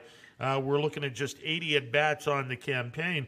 Uh, this kid has done a whole lot more than just uh, call a great game for the Penguins and, and manage your pitching staff. He's he's turning himself into quite a really good offensive threat for you as well. Yeah, he's he. I mean, he's really a, he's the catalyst. I mean, you hate to say it, but when you're in the seven or eight hole, but you know, he comes up in a lot of big situations. You feel great when he's out. The he's going to give you a quality at bat every time he's up there. Um, he's hit a couple home runs this year. He's found, you know, some gaps. He's been able to. He's, you know, he's very good with runners in scoring position. Be able to cash those guys in. I think he's what second on the team or somewhere in that area, second or third in RBIs. We got a lot of guys on our team think now we have 10 guys with double digit RBIs. So um, there's a lot of guys that can hurt you, but him and Lucas have done a great job at the bottom of our lineup. Skip, that's one of the reasons why I'm so high on this offense. As you just mentioned, there's there's a number of guys that can beat you, a number of guys, and, and we're looking at kids that haven't even gotten 100 at bats yet. Uh, a lot of these kids are double digits in RBIs. Uh, that just tells me that any place, any time in this batting order – this team can do some damage. Yeah, and really most of this has changed since the first time we played Wright State. I mean, they they really they really kind of emphasized and, kind of you know just showed a little bit of where we were at as an offense with a little bit of our weakness. We're chasing a lot of pitches out of the zone. We weren't staying disciplined, and, and just you know we're we're just we just were in a little bit of a funk at that point. And really, since that weekend, um, we've found ways. We you know made some adjustments in practice. Smitty and, and Coach Pinnell, they do a great job of working with our hitters and kind of going through some things and changed what we were doing. And and you've seen the the product. There's been quality at bats. We've had hits all the way up and down the lineup. Lots of you know double digit hit totals in games and um, over the long course of the season. And we've played a tough schedule in the Horizon. We've played you know the the top end teams uh, the last four or five weeks and um, you know, I think we've done a good job offensively. So uh, we got to continue that this weekend against Northern Kentucky, and um, you know that's going to be a tough place to play. There's a lot of runs that get scored there. It's a small ballpark where the ball flies, so going to have to continue that uh, approach into this weekend. Team is hitting 284 as a club, and uh, one of the things that I absolutely love about this team, the the on base percentage, uh, as a team, the on base percentage is 363 uh, which which is fantastic. Uh, and and we're stealing bags as well. 43 bags stolen. Uh, you've only been caught 17 times all year long. That's that's a uh, that's a solid recipe for uh, for a team that loves to run, uh, loves to get the get the traffic running on the base paths, and um, yeah, this is offensively. You guys are you guys are playing as good a baseball as I've seen in the in the last couple of years, at least offensively. Yeah, it's it's special to watch at times. I mean when it gets rolling, it's it's really hard to stop us. We put a lot of pressure on teams just with stolen bases and bunts, and you know we scored a run hustle play uh, in the game on Sunday where ground ball up the middle with two outs, runner on second, ground ball up the middle. Their guy kind of slides, dives, tries to throw our guy out. We beat the throw out, and our guy scores from second base. You know, never stopping. So, um, you know, this this group's bought in. They they play hard. They run the bases really hard. Um, and and I think that helps us lead to a lot of our offense because they have to constantly be worried about you know the pitchers have to constantly worry about holding our guys. Um, you know they don't want to get balls in the dirt because we'll, we'll be able to take extra bases and you know provided some opportunities for some of our guys to maybe get some better pitches um, because of that. So we've executed some hit and runs, we've executed some slashes. So you know hopefully we'll be able to continue that. Um, but if we can keep that pressure on it, it does make it really difficult for opposing pitchers to, to pitch against our offense. Dan Bertolini, he's the manager of the YSU baseball program. He joins me on the MP Vivo Heating and Air Conditioning Hotline. Skip, I made mention uh, during the show today that just the the very bunched up uh, standings in the Horizon League, and uh, you know, Wright State's not going to be playing again this week with their COVID issues, but you you figure they're going to be one of the four teams into the postseason. Uh, so you got Milwaukee. Youngstown State, Northern Kentucky, and UIC. And all four of these teams are up and down, separated by just three games. And, and these four teams are going to be seeing a whole lot of each other uh, between now and the end of this season. This is this is going to be a Donnybrook of a fight to see who uh, who goes into the postseason. Yeah, every week is going to be difficult. I mean, Wright State's going to be really hard to catch them just with the amount of games they've played and – um, kind of the start that they had without, you know, really playing games the last two Horizon League weekends, you know, last weekend and this weekend. It's going to be really hard to, you know, they'd have to go on a pretty bad stretch there for anyone to be able to catch them. So, you know, we you know, at the end of the day, um, every game in the Horizon League is important, and um, you know, this there's no more important weekend than this weekend is, you know, going to get an opportunity to play a team that's within striking distance of us and, and trying to really um, you know lengthen our lead uh, in the in the in the Horizon League to, to ensure ourselves a, an opportunity in the conference tournament. Yeah, let's talk a little bit about Northern Kentucky, uh, and and again, Youngstown State is going to have to go to a uh, to a team that has turf, and and it's easy for the teams that play on a dirt complex or a dirt stadium to uh, to make the change from dirt to artificial turf. That's not that big of a deal. Uh, I think it's a bigger deal for a team that plays their home games on turf uh, to go back into playing on the dirt. So I don't think this uh, comes into play this week, but give a quick scouting report on Northern Kentucky. What are some of their strengths, Skip? Well, they're gonna they're gonna swing it, and they're gonna swing for they're gonna swing for for the fences. I mean, they uh, they had they can definitely do some damage with the baseball. Griffin Doersching is, is as good of a power hitter that's been in the Horizon League that I've ever seen. Um, I think he won the NCAA College uh, Home Run Derby at the uh, at the national championships uh, two two season 2019. So I mean, he has some serious power. I think he's got 10 home runs.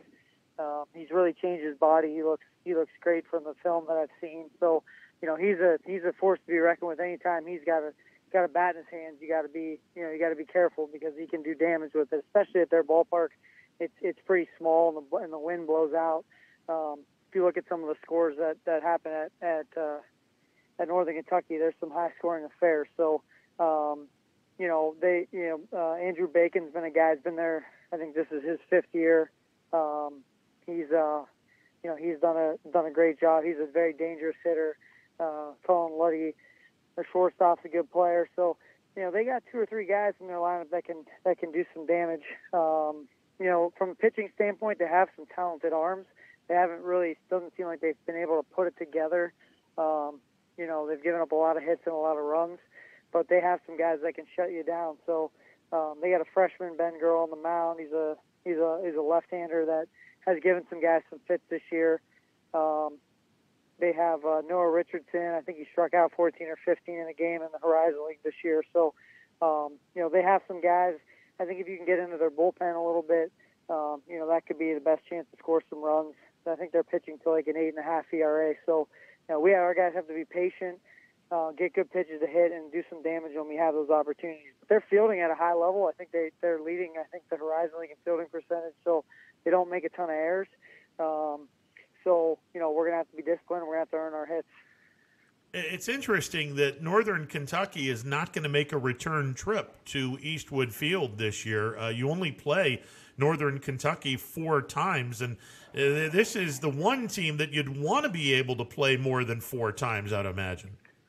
Yeah, I don't understand. if you had to tell me how, how the Horizon League come up with a schedule, I have no idea. Uh, we play the furthest team away from us twice uh, in Milwaukee. So I don't know how that happens. And we play the, the closest team to us in Wright State uh, twice, and, and Northern Kentucky is a close second, and we play them once. So I'm not sure how that worked out, but um, but yeah, I mean it's uh, it's a team that you know anytime that you're playing a team that's close to you uh, in the standings too, you want to have an opportunity to be able to win those games and and uh, at least you know play each other for an opportunity to win those games. I don't understand why everyone's not playing each other eight times. You play four games in the one facility, they come to you for four games. Uh, seven teams in the league, so you'd play eight games against the other six teams in your league, 48 league games. Why can't we do that? There's not enough weeks. Um, gotcha.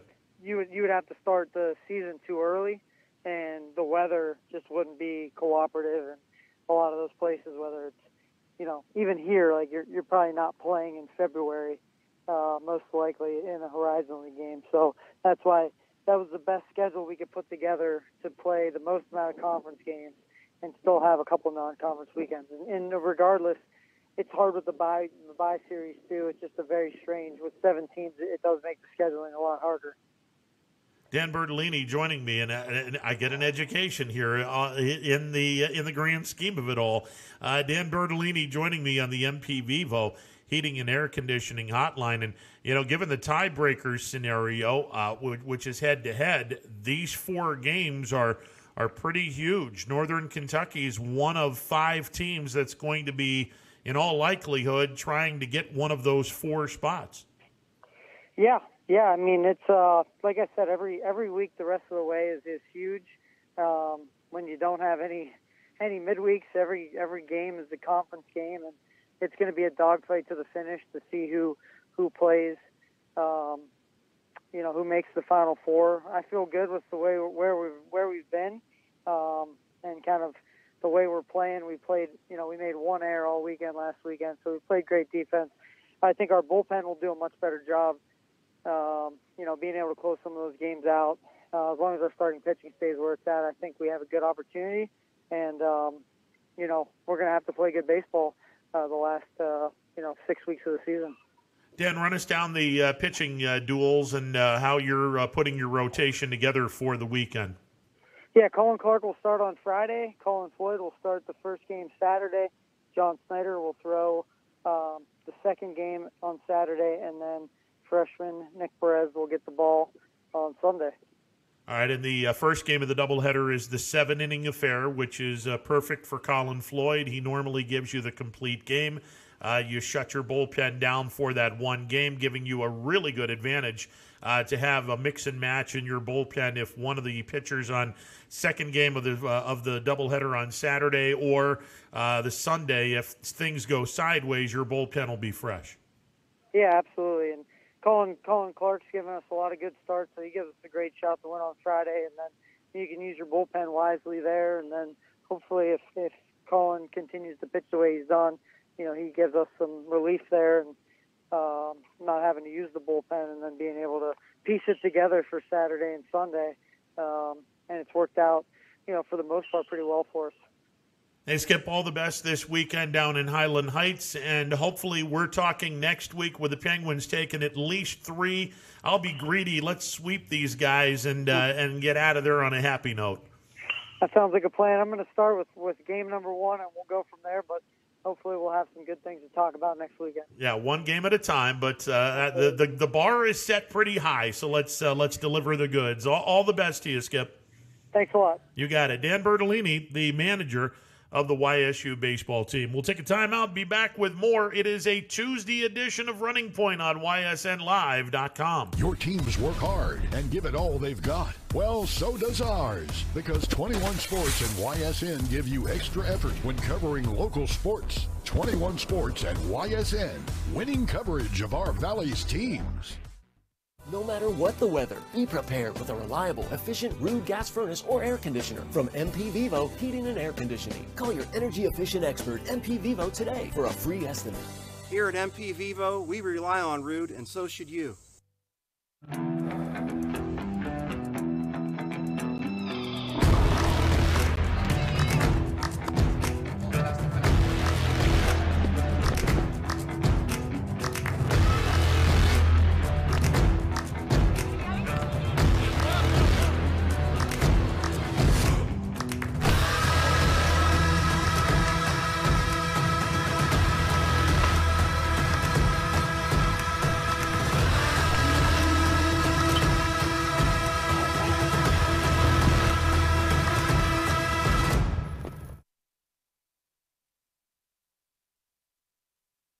Myers Family Insurance knows the importance of a great team.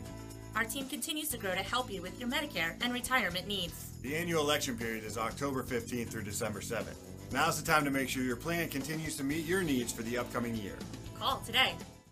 It's storm season, I think we're under the gun for some heavy storms over the next couple of hours. and Storm Tracker 21 is ready. This is probably the one we're keeping a closer eye on. On air, And locally, we're going to have a lot of eyes on our area. online, All right, let's talk high risk futurecast and the timing of this weather. on social media, and on our app. Notice we'll have scattered showers on Thursday. Stay ready with Storm Tracker 21. The severe weather threat now through around sunset.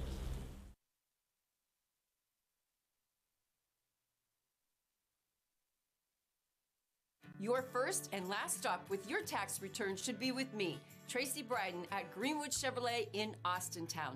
No other dealer goes the extra mile to bring you the largest selection of vehicles at one convenient location.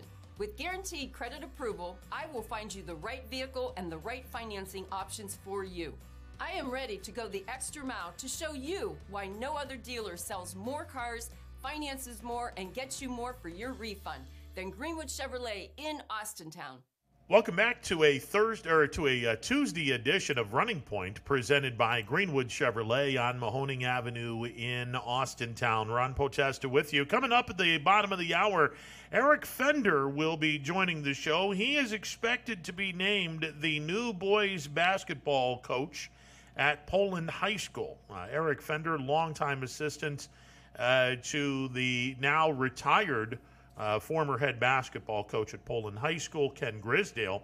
Uh, so, uh, pending board approval, uh, which is coming up two weeks from yesterday, April the 26th. That is their uh, board meeting, Poland's board meeting. Uh, they're expected to approve Eric Fender as the new boys basketball coach at Poland High School. He's going to be calling in today. We'll talk some Poland Bulldogs basketball as Coach Fender will uh, be roaming the sidelines. Uh, and it, will be weird not seeing uh, Coach Grisdale uh, as the uh, as the head basketball coach at Poland. Uh, but his longtime assistant Eric Fender is about to get that job. there's some other positions that are going to be filled. We um, we made mention that um, the uh, Leetonia Bears are going to have uh, a, uh, new uh, basketball coach. Guy Costello uh, is going to be the new head basketball coach at Leetonia, pending their approval. Um, he had been there before. I want to say, oh boy, about 10 years ago. Um, Guy Costello was the head basketball coach at Leetonia, so this will be his second go around uh, as the uh, head basketball coach at Leetonia, and we'll see what's, uh, what uh, Coach Costello does uh, with that program. uh, there's some uh, some vacancies that are uh, certainly going to have to be filled. Sebring uh, looking for a brand new uh, head basketball coach. Uh, Brian Clark left Sebring. coach French is not in Springfield anymore, so you know there's an opening there, and that's.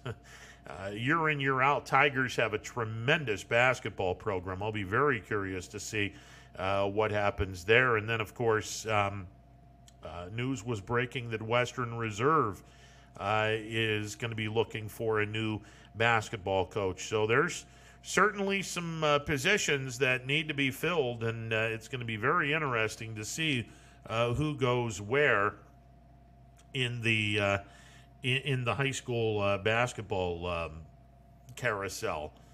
we see this every year with high school football.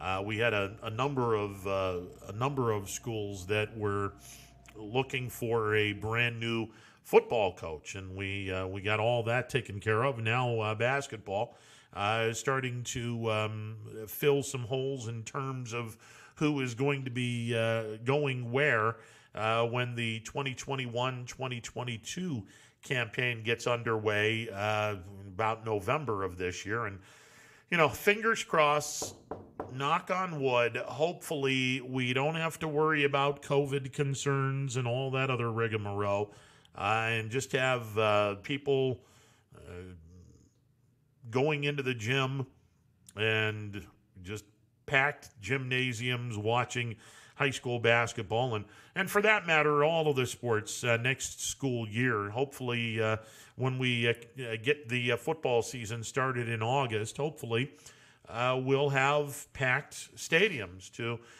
to watch high school football when we start the football season on August the 20th. And for those that are patiently waiting, the high school football, let me do some quick arithmetic here.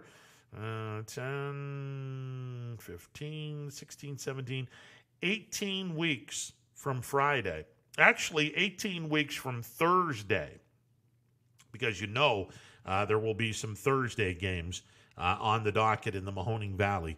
In 18 weeks, yeah, I know it seems like a long time, uh, but in 18 weeks, high school football is uh, is back at it again. On uh, Thursday, August the 19th, uh, we will have high school football, barring any disasters uh, that's in 18 weeks. So uh, it's.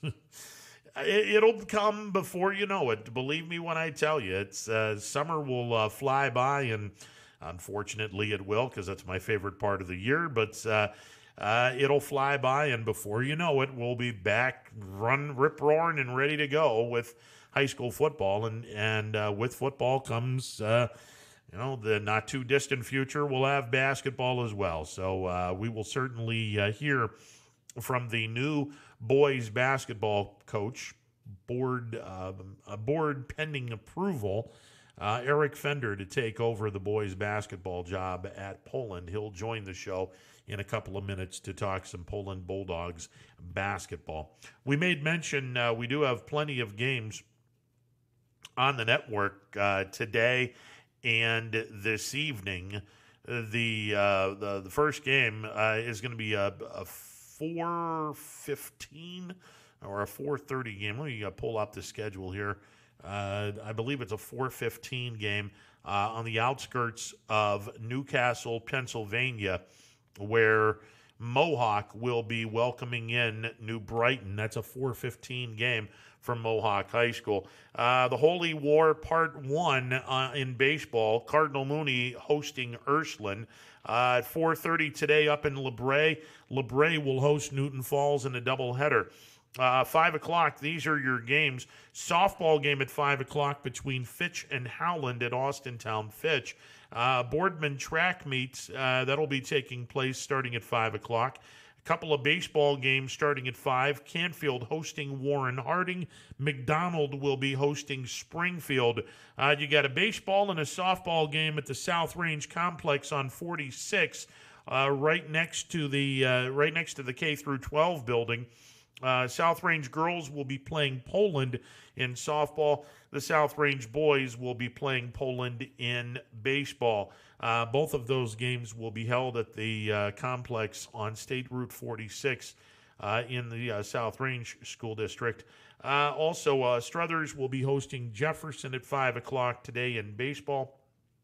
And tonight at 7 o'clock, Austintown Fitch will be hosting Mc. I'm sorry, they'll be hosting Howland at uh, 7 o'clock. Almost said McDonald's.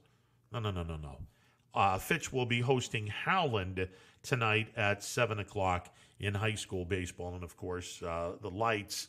Um, you got the uh, you got the uh, beautiful lights at Austintown Fitch High School. Hence the reason why they're playing a night game at Fitch High School. So uh, there you go. All right, 330 886 0813. The MP Vivo Heating and Air Conditioning Hotline open for business. We are awaiting the uh, head basketball coach uh, or the presumed head basketball coach of the uh, Poland Bulldogs. Uh, board pending, as the board will meet on April the 26th to approve uh, the uh, selection of Eric Fender to be the new boys basketball coach at Poland High School. And again, I don't think much is going to change. I mean, one would think uh, not much is going to change. Uh, Eric Fender, the longtime assistant uh, to Ken Grisdale, uh, I mean, we'll find out when we uh, get a hold of uh, Coach Fender and and talk a little bit about the the Poland basketball job and and how much things are going to change. One would assume they won't change very much. I mean, you don't.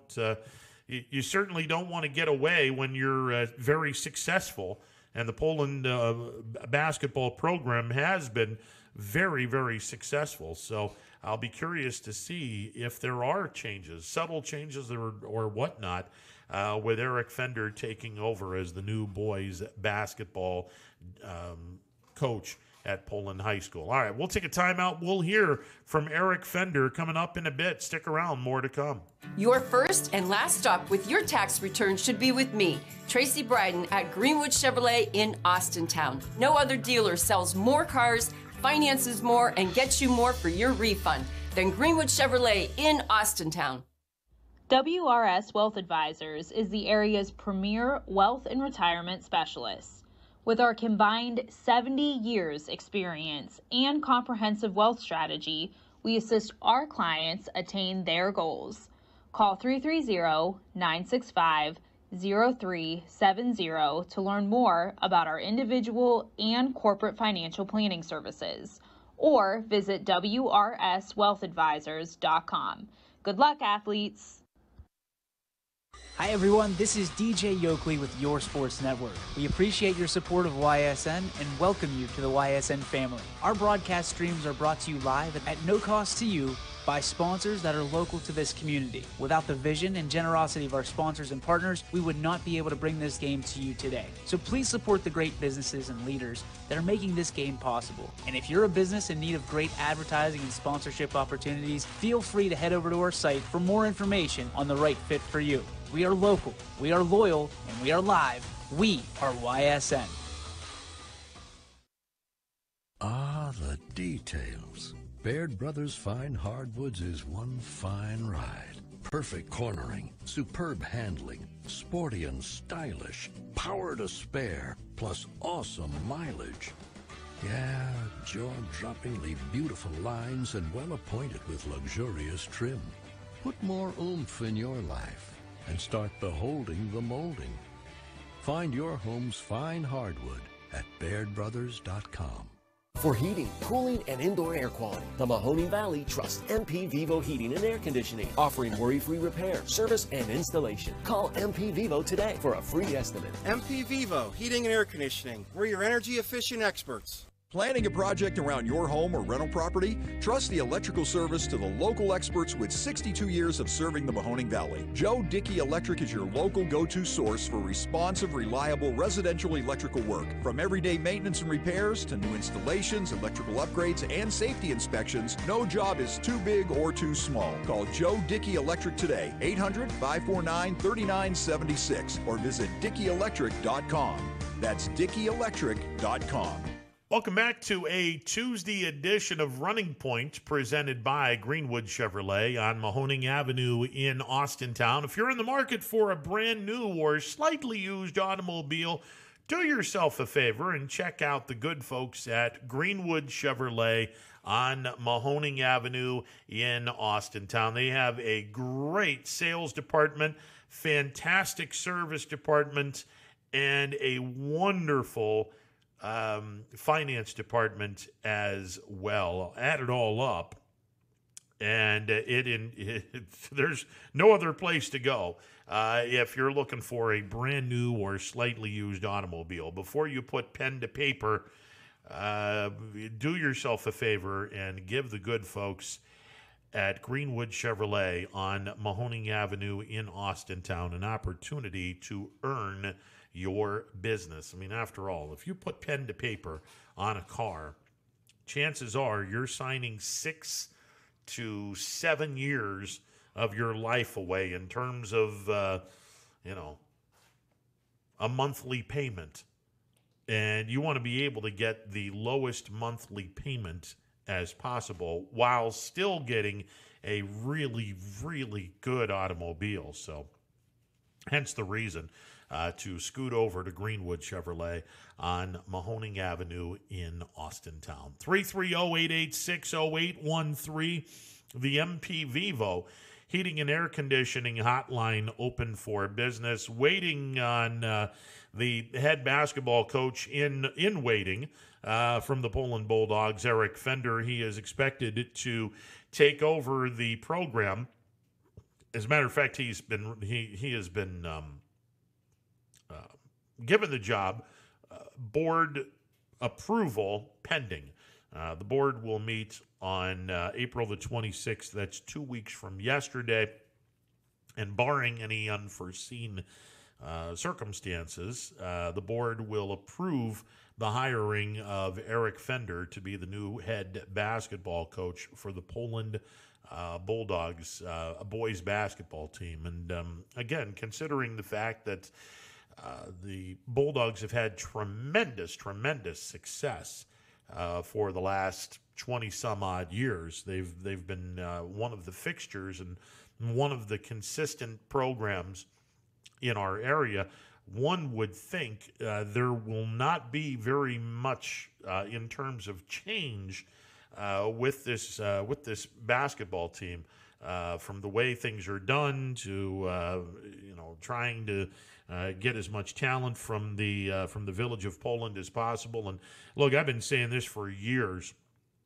Whoever the head basketball coach is, it's not just high school that you're looking at. Uh, it, the reality is, if you want a program, and we're not talking about uh, a fly by night every now and then uh, you'll hit pay dirt and have a real nice uh, year and uh, and then other years it'll be uh, struggling to win five or six games. If you want a consistent program, it starts as as soon as the kids start going to school, and that's kindergarten. Uh, to uh, try to get as many of those kids immersed into the game of basketball as humanly possible, from kindergarten all the way uh, to fifth and sixth grade, and and that's going to be the uh, the job of the brand new uh, head basketball coach at Poland High School, and he joins us, uh, joins me, I should say, on the MP Vivo Heating and Air Conditioning Hotline. Eric Fender, Coach, congratulations to you. Thank you very much. How are you today? I'm doing well. Now, I, am assuming that uh, the board's going to say, yeah, Eric Fender, come on down. You're the next contestant on Who Wants to Be the Head Basketball Coach at Poland High School. Uh, I got to assume they're going to say yes to you, Coach. Uh, that's my hope. uh, after talking with Mr. Banfield and the administration, uh, I know that's the route that they decided to go, uh, and I can't say that. Um, you know, I'm extremely excited about the opportunity, and I hope at the board meeting everything turns out the way uh, they want it to. You've been uh, the assistant of Ken Grisdale's for some time now, and, and I made mention before you came on board to uh, to talk with me that I, I would assume that not much would change. I mean, after all, uh, you guys have been one of, if not the most consistent basketball program in the last 20 years in the Mahoning Valley. You don't really need to change all that much when things work so well. No, you're right. And, and even when, uh, you know, we're talking with Coach Grisdale, the one thing that, that I've always said is, is he did such a great job of laying the foundation. Uh, he did such a great job of, of getting everything to where it is nowadays. Uh, and my job now is to just keep the train rolling. Um, you know, there's some tweaks that I'm going to probably bring in that might be a little bit different compared to him. Uh, but when it's not broke, you don't fix it. And I don't plan on changing a whole heck of a lot.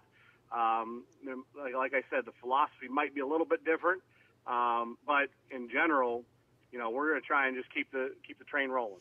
When you have a successful program year in and year out, uh, boy, kids at an early age get real immersed into playing basketball at, at a very very early age, and th- and that just is that just does a program so much uh, so much good when you see kids in kindergarten, first and second grade picking up a basketball and and trying to learn how to play the game uh, for a school like Poland and, and any school in the Mahoning Valley, but especially here at Poland, uh, that's just that's just great for the program. Yeah, you know, winning helps uh, so much, and over the course of Coach Grisdale's time, uh, you know, to win 500 games and, and to build uh, that interest at such a, a young age and a, young level uh, is definitely key. You know, it's the foundation is those younger levels, uh, and what they learn there, the fundamentals that they learn there, which I hope to continue, uh, only builds for a bigger and bigger, bigger and better program as you get into that JV varsity level. Eric Fender, the new boys basketball coach at Poland High School, joining me on the MP Vivo Heating and Air Conditioning Hotline. I'm not familiar with with how you guys uh, did things when Coach Grisdale was around in in terms of how you guys handled your junior high program. Uh, are the junior high kids going to be playing the same style of offense you will have your varsity team play? And, and then it's just the concept of these kids learning uh, learning what I'm going to be uh, teaching them in high school two years early? Yeah, you know, anything for me for a basketball program or any uh, sport that you're playing, the fundamentals are the key. Uh, and I think Coach Grisdale did a nice job. And uh, again, like I said, there's not much I'd like to change in that aspect, uh, but it's getting the fundamentals built at from the ground up. And the ground is your four, five, and six programs. Your your ground is your middle school seventh and eighth programs. And each year they go up, a little bit more is added to them, whether it's offensively, whether it's defensively, whether it's skill development, things like that you want to try and increase so by the time they get to be a junior and senior, you know, there's not much that you really have to implement except for maybe some sets, some different defensive stuff, uh, things like that. But definitely the foundations at the lower levels. Eric Fender, he is the new boys uh, basketball coach at Poland. Uh, board uh, approval pending. Uh, he joins me on the MP Vivo heating and air conditioning hotline. Uh, and obviously, the, you keep the train rolling, as you said. Let's talk a little bit about what you have returning for the 2021 2022 campaign. How much talent do you lose, and how much talent is coming back next year, Coach?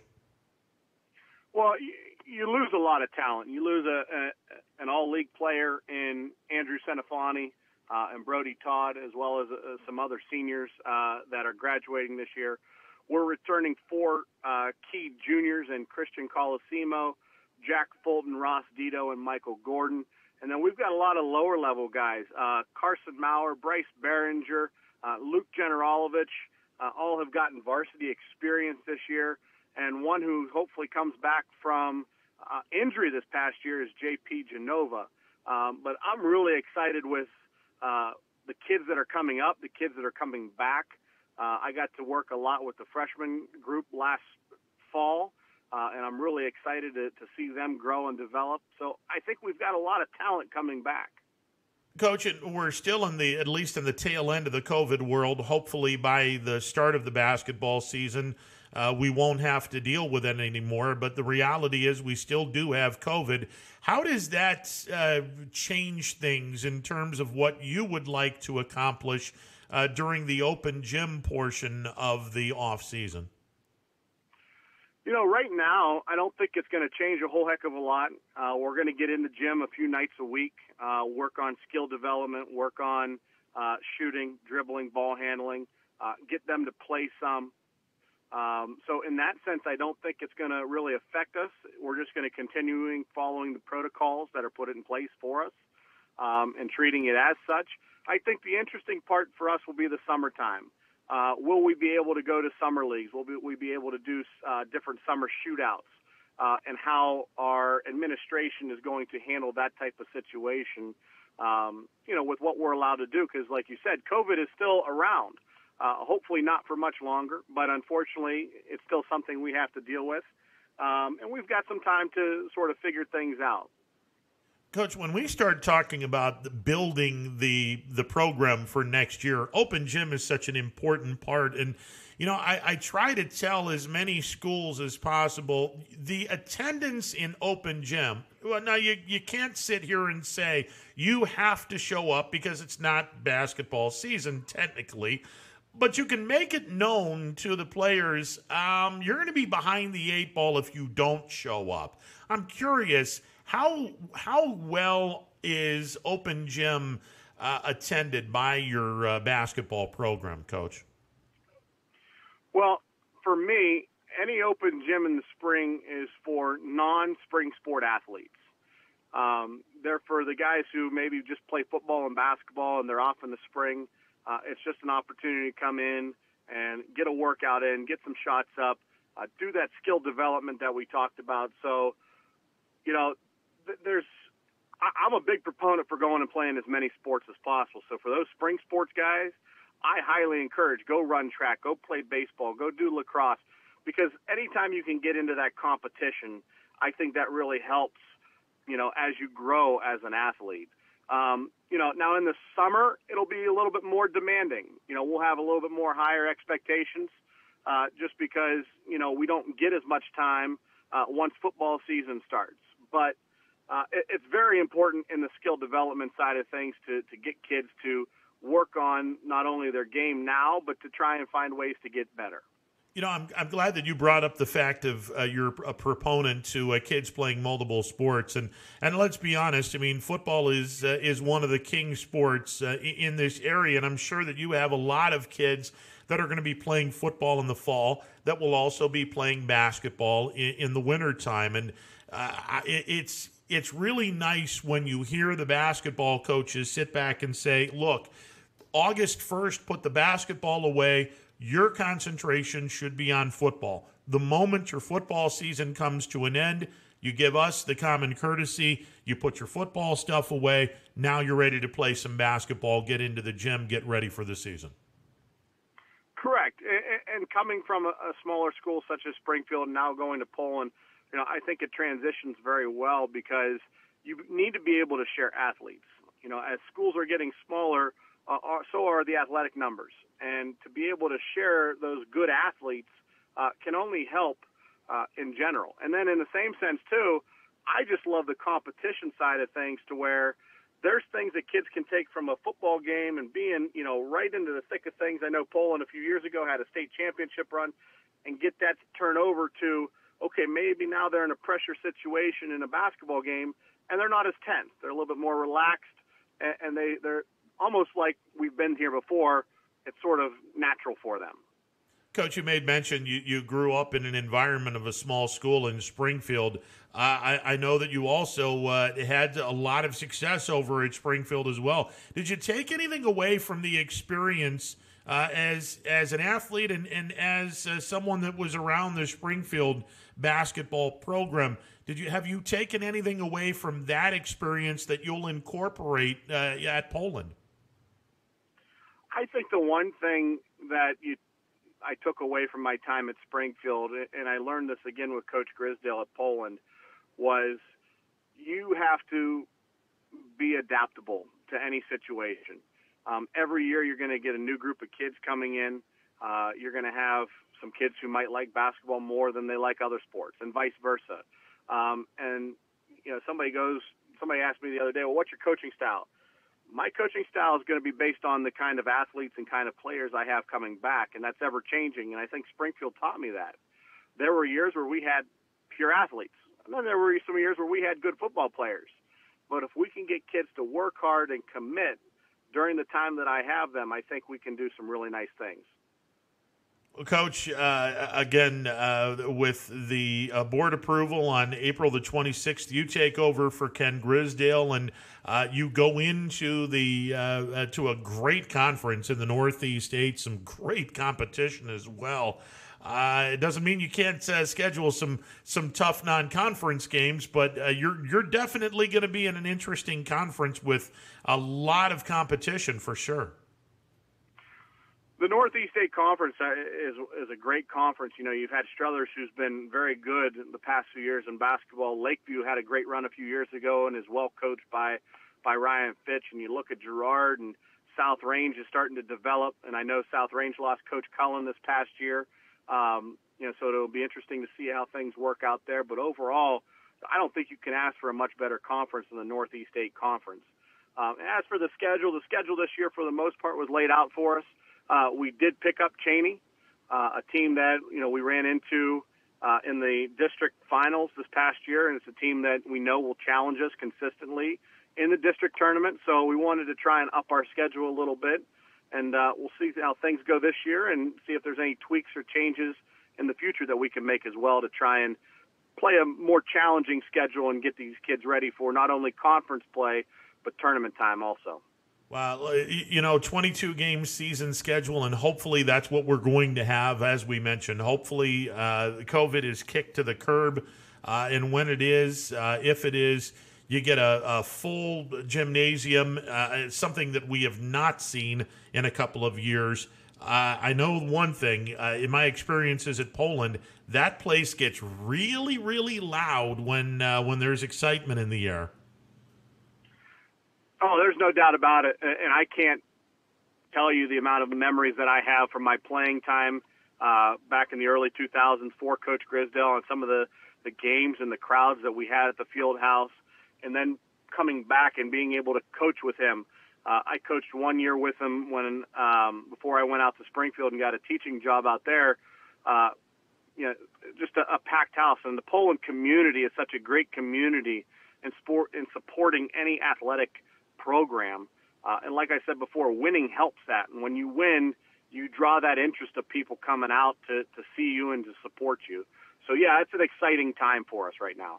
Coach, are you guys going to play Springfield? I'm, I'm curious. Uh, in, in a non conference uh, setting? They are on the schedule this year, yes. That's outstanding. Uh, congratulations on that, and uh, we will certainly uh, we will certainly look forward to a new era uh, of basketball coming up later this year. And uh, I, I, mean, I'm excited for it, but uh, let's not get too excited because we still have summer, and and I love me uh, I love me some summer. But uh, yeah, definitely looking forward to uh, some good basketball. and I'm looking forward to seeing what you can do at Poland High School. And congratulations and best of luck to you this year. I know that this is this is going to be a fun, fun time for you, Coach. Well, thank you very much. I appreciate you having me on, and, and it's definitely an exciting time, and, and we hope to uh, continue everything that was sort of built uh, by Coach Grisdale, and, and we hope that we can do him proud, uh, and by the way we go about things. So I appreciate it. I'm sure you're definitely going to uh, take a, a gigantic step in the right direction, and then some. Coach, all the best to you. Thank you so much. Have a great day. You as well, sir. There he is, the new head basketball coach Uh, the pending board approval on April the 26th. Eric Fender is going to be the new head basketball coach at Poland High School. Uh, and it's good to see that he's going to have Springfield on the schedule. Uh, he, he was over at Springfield and then uh, uh became an assistant coach with uh, Coach Grisdale and now takes over the Poland boys basketball uh, with the retirement of Ken Grisdale. And speaking of retirement, he made mention John Cullen retired over at South Range. Uh, there's a, another position. We we talked about all kinds of different positions that are going to be open in the uh, in the high school uh, basketball uh, side of things. Uh, man, there's there's going to be some changes, and and certainly be interested to see how all of this shakes out. But I'm I'm sure that Coach Fender is going to continue the tradition of greatness at Poland High School. This is just a fabulous, fabulous program. All right, that'll do it for the show today. Many, many thanks to uh, Rob Schmitz, uh, Dan Bertolini, and Eric Fender for calling in. Uh, we will do this tomorrow. Anthony will be in studio. We'll have some fun. Uh, tomorrow, Brian Tolnar will be our guest. Uh, we will preview uh, the upcoming PGA stop uh, this coming weekend. I believe uh, they are in South Carolina at the RBC Heritage uh, at Hilton Head this weekend. So that should be a fun time as we will preview that weekend on the PGA Tour and so much more tomorrow when Brian calls in at 1 o'clock. All right, Power Hour is coming up next. And make it a great rest of the day, everyone. We will talk tomorrow from noon to 3 on YSN Live.